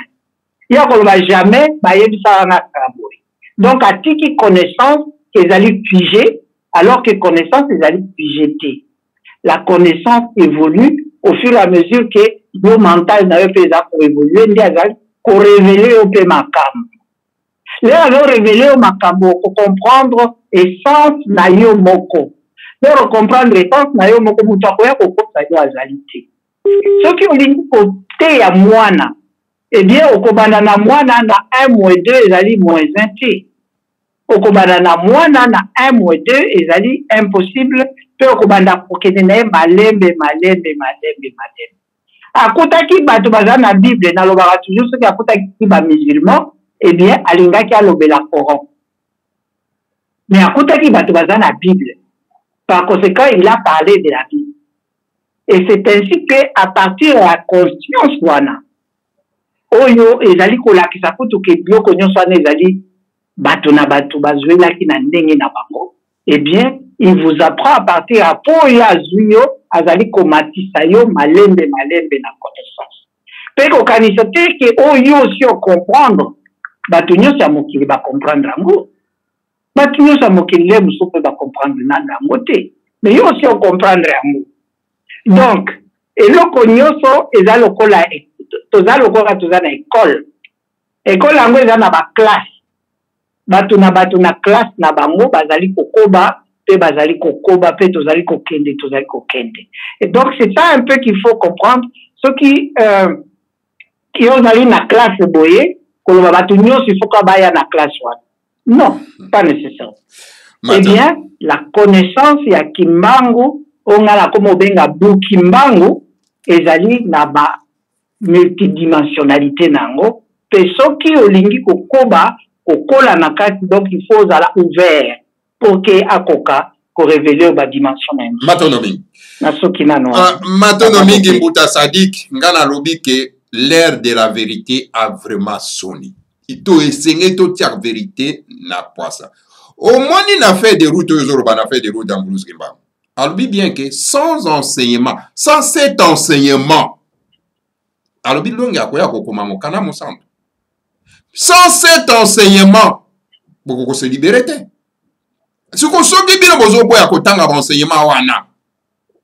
mpo ete bose reconnecte na monde oyo bino bobunga sikoyo bokokɔta na vibration ya mvuluzi kimbangu ndenge nini impossible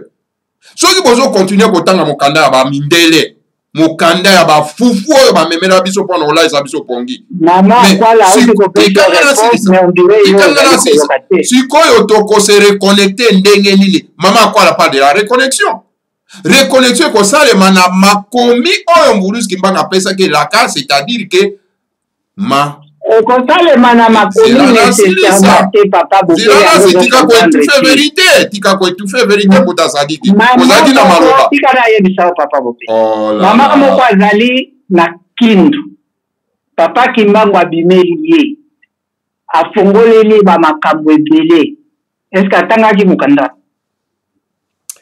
mama mosusu na batata mosusu bazali bisika na bisika hmm. azali azobimela bango mpe aza kopesa bango bamateya na bamalako ebele batangaki mokanda matondo mingi mbuta sadik c'est-à-dire il ne faut pas mettre les choses parce que bamindele batia organisation ya ekole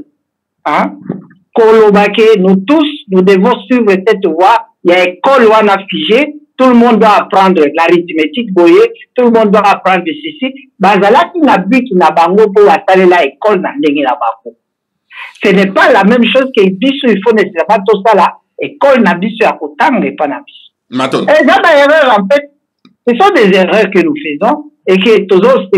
toza oh. encore kozwa mwa mwa orgueil ya koloba yango alors que c'est pas correct mais non écoutez écoutez mbuta sadik ezali question orgueil te parce que mvuluzi kimbangu meme na kaba alobaki yango ntango bana bayaki epai na balobi keno bakokende sur na ekole ya mindele te mvuluzi kimbangu aexitaki bango keno bokende na ekole ya mindele botanga parce que ntango olongi wana akoya ntango ya kokoma makambo wana mpo bokoka koyeba kotanga yango voilà mbuta sadiki toke epai ya mbuta nelando toke epai ya nelando nelandotokende epai ya nelando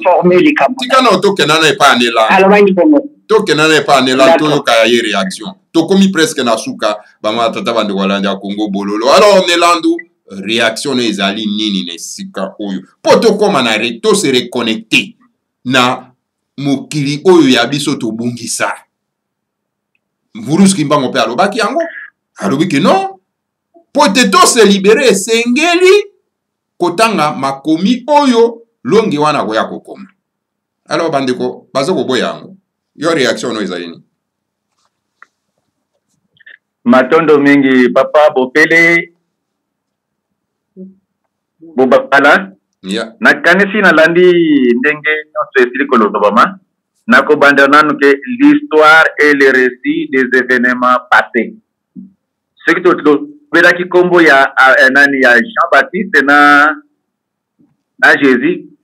ezali histoire oyo bayekosa biso elekaka ndenge wana me tokoti kati na bango te de deux enseignement il me semble ke soki tofongwami bien tolanda na bokebi enseignement moto oyo azolanda enseignement ya mécanique oyo moto kimbangu eh, kimbangu kiangani aza mécanicien yango nazwi exemple ya mécanique oga moko mpe naza mécanicien azalaki mécanicien soki tolobi moto azolanda enseignement ya mécanique nakanisi akoki kotonga ndako te wana eza enseignement te apesi to bapesi ye abongisa motuka akokoka te parce que enseignement yango te azwaki tout comme motu azolanda enseignement christianisme akobundela nde bachristianisme israel mhm. mais akobundela afrique te mpo na nini enseignement aza nango ezali enseignement ya israel de tout comme mfumu kimbangu alobaki te fo kotinda nlongi instructeur divin oyo aya kopesa enseignement africain mpo na nini tozwa toyeba ndenge ya kobundela afrique nakanisi napesi moke mwa lisese na ndenge wana ndenge wana mhm. mpo na makambo oyo etali enseignement tokoti sikoyo na neti place mama alobelaki mpo na limvwatu ke bilamba ozolata mituka ozotambola na yango me bango nyonso wana baisraele baya koyekola na egypte epai na biso nani abosani ke moïse na baabrame bazalaki na egypte nani abosani ke religion basalaka religion solaire euta na egypte nani abosani lutos noir nani abosani ke l'afrique est le berceau de l'humanité na egypte nakanisi bamoli ntango bayaki esi baya kokuta banoire mutakala obie baya kokuta bango na ba mm-hmm. misala bilamba tukonsoba me ntango tokomi na congo na afrike tobandi koignore ke bango ntango bayaki koluka lisalisi na egypte bazalaki na bilamba baya kokuta bato na bilamba me ntango bazotia biso awa bazotia biso neti bazo mitmilele biso oyo etali bilamba tolongola mpo bilamba ebandelaki na egypte toza kolata soki tokoti na oyo etali martir martir nakanisi martir de l'independance ezali nde bakongo bayindo efa bamindeli ntango afa bamindeli bakende abako ntango atikilemaka martire ezalaka tokoti na place ya martire mokolo mosusu bapoza ngai question mais mpo na nini eh, bato ya mwanda nse mibundi ya congo bazokufela mpo na nini kimbangiste mpe azokufela bazokufela bango nyonso mibale mpo na nini repondaki te bato oyo bazokufa na bato ya mwanda nsemi bazali bamartire de l'indépendance ya deuxième indépendance meko bazokufela na, na nzela nkamba nayebi te bazokufela eloko nini mpo na nini point d'interrogation tokokota na mozindo te me oyo ngai namona nayokaki kaka keno bato ya batanse bazokufa mpona martir de l'indépendance indépendance moko te kozala ezangi martir yango tolobi ke fumuki mbangu soki amonani kati na yo tosala mpe eloko batangi kuna na goma soki wapi fumuki mbangu amonani na bango fumuki mbangu amonani na bango basala eloko te eloko moko te ngai na temoye ke ntango tokokimbango amonanaka na ngai nasala mpe evenema oyo monde mobimba balanda na force ya fumbu kimbangu nyonso oyo fumbu kimbangu areyona soki fo asala eloko ezali te ke ozopesaka temoye ke tomonanaki na kimbangu osali eloko nini eloko moko te donc seke ezali ba temoyage ya lokuta lelo soki olobi ke obeteli mbula bazoki komona yo kaka kopola oyo te nakotaki na zamba mpona moto ezalaki bato bakomakolima mpona osiki une petite seconde vraiment papa nelando avant émission ya lelo nga nayebaki yo te eh. bien ke olobi osalaki événement oyo mokili mobimba eyebaki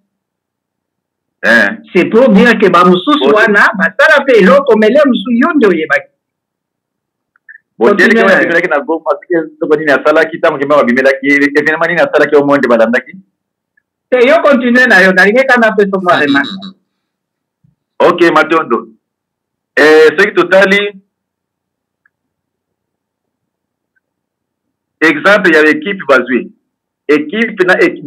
joueur nyonso na ekipe azalaka na mosala na ye me boyeba te ekipe wana ezalaka na nkombo moko bakofronte na ekipe oyo eza na nkombo mosusu joueur akosala akosala akosala talent na ekipe oyo bazobeta oyo balobi neti leopard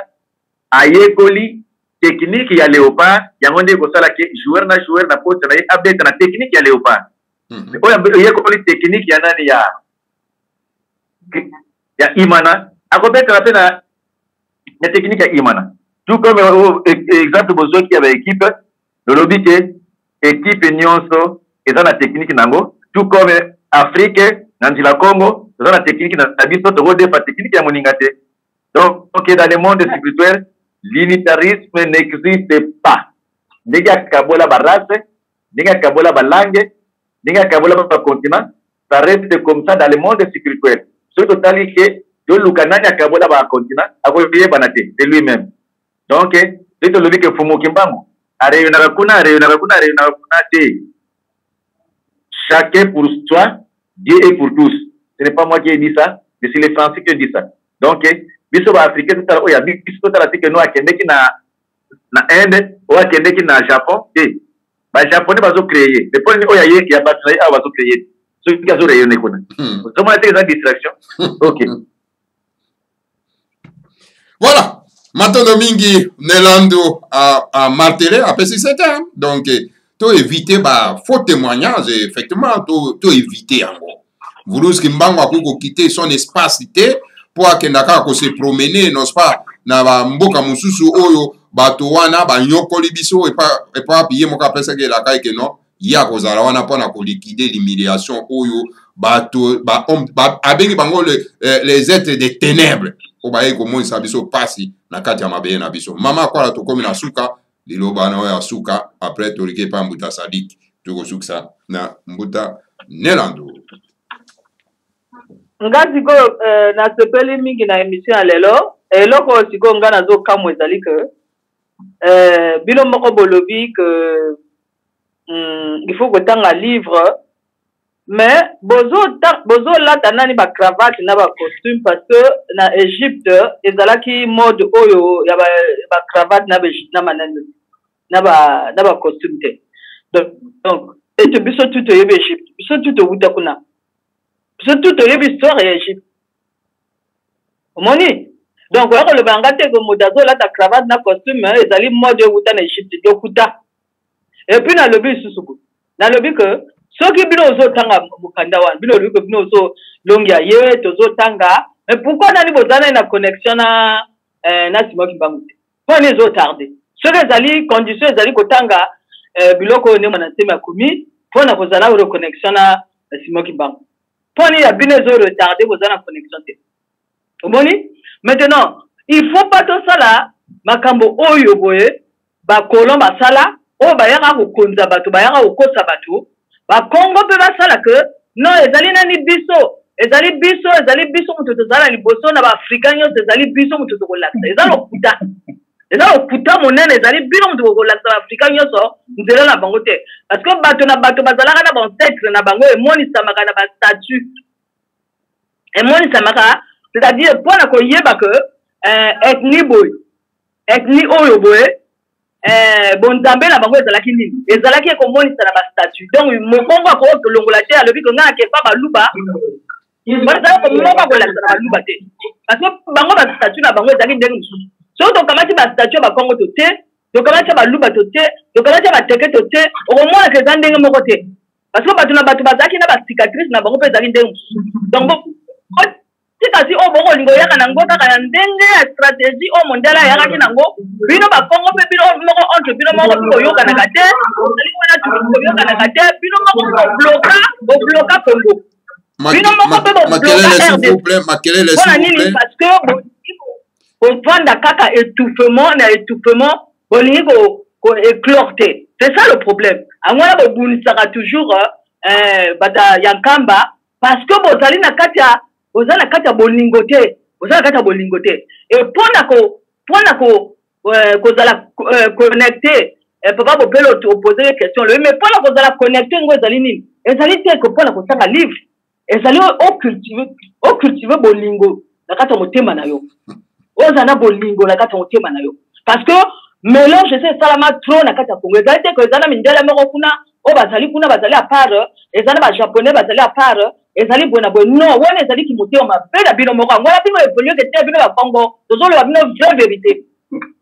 oswanaka toujours entre bino moko kosala makambo na bino bino moko te il faut toujours bolandaka bato ya sima bango botika batankamba basi ba évolue déjà basalaka makambo na bango mponi bino olanda toujours makambo parce que boza bacomplexe justement yango na boza na reconnexion na na na sima kimbangu te parce que amour ezangi bino c'est ça ezali te ke livre moko moto ekoya kosala reconnexion soki bino okamatika makambo ya livre elingi oloba ke bino okamatika makambo ya bacolon so bolataka ba cravate na ba costume bolatika makambo ya kolon epuis na kati bamutu na bino ezali toujours na bible na kati donc bino okoloba na biso te ke non témoignage oyo bapesi na japon bapesi na chine sur simon kimbangu te biso tokolanda yango te parce que mindele bazala makambo na bango biso mpe tozala makambo na euh, ezolakisa deja ki ezolakisa deja motema likundu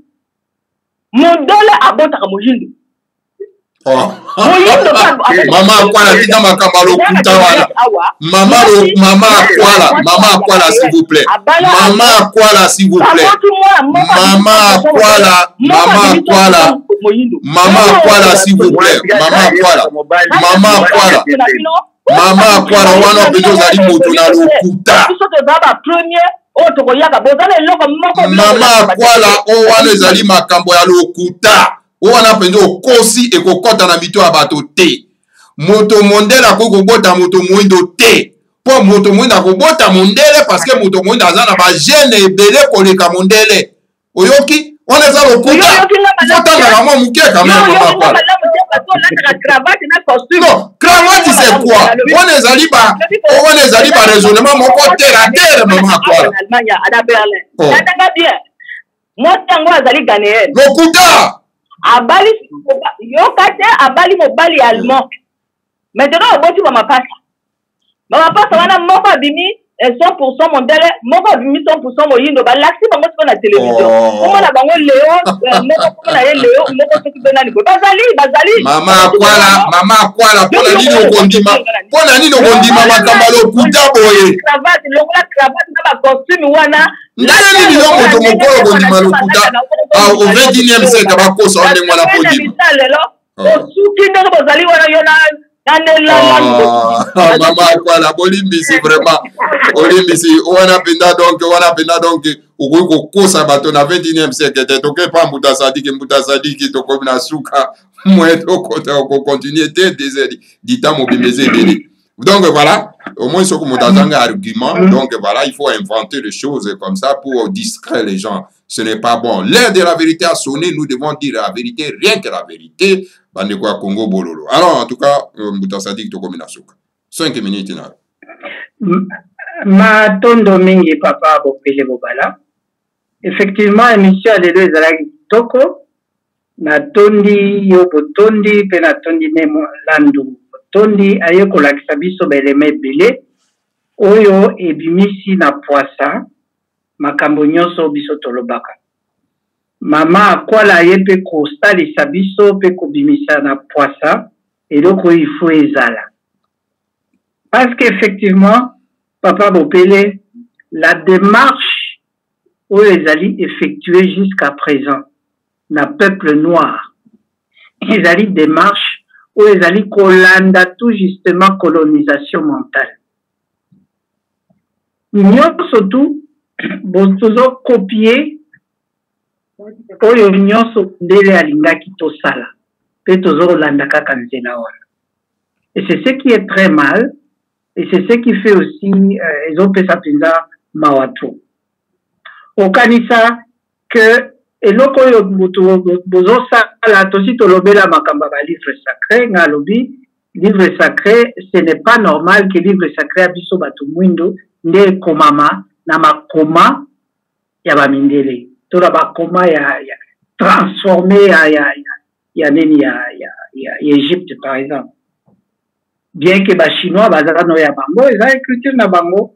eza bien sûr nyonso eza transformé à partir de toujours ya, ya, ya égypte mais baécriture nyonso wana eza transformé mais bato na bato bazwi oyo ya bango batransforma mpe bafandeli yango ce n'est pas que biso nde baninga batransforma biso tobandi kokoki oyo ya bango tolobi ekomi ya biso mpe tokomi nango c'est déjà un problème L'autre problème, c'est le fait que maman Akwala azali kolobela. Eh bien, papa Landu, ne Landu pe alobi yango très bien, mais nayebi te nini nini azo ko se contredire. Mutu na mutu azali na don na ye. Mutu na mutu ayaki na mokili na mission na ye. Sikoyo yo oza na mission na yo, mais olingi moninga asala oyo ya ye te. Alanda nde yo. Mpo na nini? Ko contester ya moninga te, ndima ya moninga parce que ezali contribution ya ensemble lokola toza na jardin ba fleurs ezali na ba beaute na ba beaute. Mais euh, Mbuta Sadiki, Mbuta Sadiki, Mbuta Sadiki, zalo na interrompre yo mwa moke. Ye a contester te que soki bobimisi eloko ya sika kuna ye akonteste mais ye azo kokonteste c'est-à-dire que la perpétuité ya mokanda ya bapaya oyo bamemelaki biso biblia bozo continue on doit critiquer mpo nini okoboya bakritike yango te okonteste mpo na ye kimbangu ne peut pas kobimela moto nyonso soki asali eloko te d'après ye or oyo ye asalaki epa na ye mokili nyonso mpe eyebi te parce que par exemple ngai nayebaki ye papa na melandu kaka lelo ninga nayebi donc c'est tout à fait normal que ye mpe aprendre conscience ke bato mosusu mpe papa kimbangu azobimela bazosala misala me ye ayebi yango te et c'est tout à fait normal ke ye ayeba te parce que azali na environnement ya bato wana te c'est tout à fait normal donc wana ezali déjà humilité oyo ezali kolakisa ke toza na yango besoin et c'est peut-être ce que mama akwala azali koluka koinsiste likolo na yango l'humilité qui nous fait que tondima kocontribue ensemble pour le développement de l'ensemble Soki tondimi wana nde oyo nalobaka strategie ya victoire oyo tozali kosala biso nionso mutu na mutu na contribution na ye pour que victoire na yango ezala totale. Et au fur et à mesure que tobandi ko comprendre que mutu oyo akoya kobimisa likambo akobimisa kaka na don na ye oyo bapesi ye en fonction ya mission na ye, mais oyo azali na mission intégrale oyo azali na mission globale wana ezali papa kimbangu mpe azali kolakisa yango bisika nyonso parceke ye moto azali kokonza mpe ye moto aza kokotie bato nyonso tu aye abimeli yo apesi yo mission na yo aye abimeli yo apesi ye mpe mission na ye aye abimeli yo aza kopesa moto na moto mission na ye mpe azali kokotie bino azali kopesa bino bainstruction c'est-à-dire ye azali source ya instruction nyonso wana soki tobandi okomprendre wana ekosalisa biso ebele et j'aurais préféré ke na oyo centième anniversaire ya fait de route oyo to se concentrer na, na kati ya kokokisa yango mpe totika koswanaswana à gauche à droite baoyo bakufaki mpo na boye bo bakufaki mpo na boye bo bakufaki mpo na boye mais raison ya kokufa bato na bato bayebi peut-être bato mosusu mpe bayebi te donc bacomparaison ya ndenge wana rome bafrançais kutu balobaka comparaison n'est pas raison donc koluka bacomparaison wana te ça ne nous apporte pas grand chose c'est comme si ozali kocompare défenseur na attaquant osali comparaison eza na ntina te oyo wana aza défenseur oyo aza attaquant attaquant akotia but défenseur eza mosusu akotia but te donc ce sont des éléments simples oyo il faut soki totie yango sikoyo tocomprendre makambo mpe mama akwala aza koloba awa mpe makambo alobi ebele ezali ya solo mpe hmm. biso mpe toza kolandela tozolobela kaka ndenge wana et je crois que hmm. na soki wana papa bopele na ndenge nalobaki ifo nabima na deux minutes en tout cas napesi natondi yo botondi mpe napesi maloba nazongisi maloba nakotonda botondi mpe na bandeko nyonso bayoki biso mpe na yo ndenge organisaki emission ya lelo ya kitoko mpe epesi biso instruction ebele matondo mingi matondo mingi mbuta sadiki antuka na ndenge ozalaki na biso bon naza oblige kokatre kobima sikoyo papa bopele ok matondo mingi toza kopesa maloba suka epai ya mbuta na biso mbuta uh, landu ne landu alors ne landu oyoki réaction ya uh, mbuta sadiki ozomona ke bandeko na biso balingi kometenir biso toujours na esclavagisme wana oyo ya mondele me bazomona yango te bazomona yango te baza kotrace prophesie ya mbulusu kimbango e ndenge alobaki me baza kolinga kocomprendre yango te mbulusu kimbango alobaki sans enseignement wana ya longe akoya na yango donc liberation ya congo eza pasi ozomona alors donc voilà ba, ye kutu ya bango azokanisa ondire yo oza moto ya bdk epota oza moto ya bdk te voilà information na kopesa bango yango wana alors tokomi na suka liloba no ya suka matondo mingi papa bopele hmm. nabanza soki tolobi nano oyo etali bakongo bateke, bayaka, bawumbu, bayombe, bamanianga, bandibu, biso nionso tolobaka kikongo oyo ya bakongo. Bolimbisi, bolimbisi, bolimbisi, bolimbisi, bolimbisi Nelandu, bolimbisi Nelandu.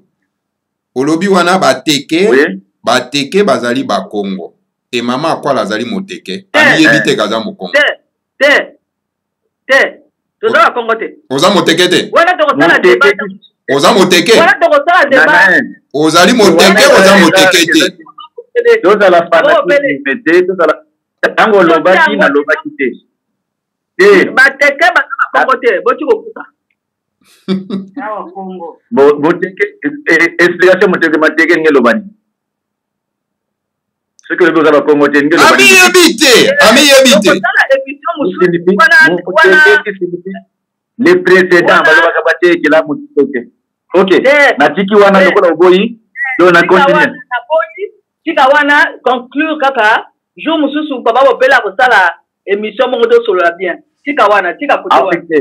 Ndeko amiyeli te. Na banza eloko na kosoba ya suka na mokili mobimba soki tribu eza na esclavagisme na bowumbu tata nzambe atindi un envoye yebaki envoye wana akozala revolutionnaire akoya korevolte na makambo oyo ye ekoti kati na tribu wana mpo alongola yango azongisa makambo oyo atya makambo oyo tata nzambe atindi kati na ye obien babungisi eloko tata nzambe akotinda motu oyo azali makasi donc esprit eya na buda revolutionnaire esprit eza eya na mahome revolutionnaire esprit eya na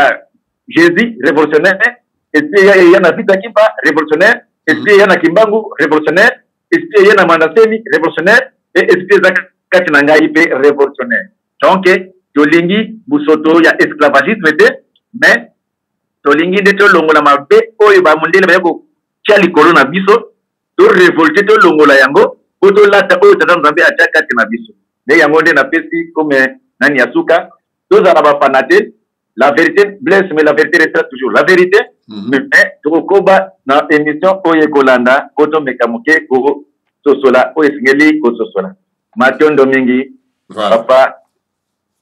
matondo matondo mingi en tout cas nelando omoni ke en tout cas lumière eza mosika mpo na ye koka komonana en tout cas eza mpasi mingi mais la lutte continue jusqu'à la victoire e tokolonga kaka voilà okay. bamama batata bandeko tokomi na suka ya émission na biso bolimbisi ndenge vraiment deux heures du temps mobimba donc e débat wule bamama batata bandeko esengeleke eza obe bongo bamama batata bandeko bandi ya kongo bolo bopartage kongo bololo oyo alingi koparticipe na débat abenga biso tokozwa bango na kati na débat eza ofele okofuta no ata pata moko te mpo na koparticipe na débat ezali te ndenge ezali na congo fo kofuta mbongo mpo oleka na émission etc awa ezali ofele connaissance nde toza nango na bosenga parce que tokomi na ere ya version donc ere ya kinakimasa ere ya verité alors donc voilà bamaya tata bandeko bo boede bosunga chaîne na biso na badon hein? bo aider yango alors donc bo aider mpe le mouvement oyo eyei solo mpenza ko révolutionner le monde mbundu dia mayala c'est un mouvement révolutionnaire bo aider yango bosunga yango na badon etc mpe bosadere bosadere adere adere adere massivement na kati ya bundu dia mayala mpo na euh, ko révolutionner en tout cas euh, mboka na biso mpo na kozwa deuxième indépendant promis par le seigneur kimbango voilà bamama batata bandeko balandi ya kongo bololo ezalaki wa bino mbuta bopele kobala oyo azalaki na bino na pokwa na elolo matondo mingi solo mpena atuka na ne landu kuna na mboka ya kinshasa matondo mingi na mbuta sadik matondo mingi na mama akwala bango tu oyo bozalaki awa na kati na deba monene na wana tata wana libala nde akomobolo alors wana tokutana bino mbala nsima alors que le seigneur ya congo akoka solo mpenza koprotege biso aprotege en tout cas euh, euh, ntumwa na ye oyo batindaki na kati ya mokili ne manda nsemi mpe aprotege mabele ya kongo bamama tata bandokana ya kongo matoa makanda mababusa mafutuka yo ntama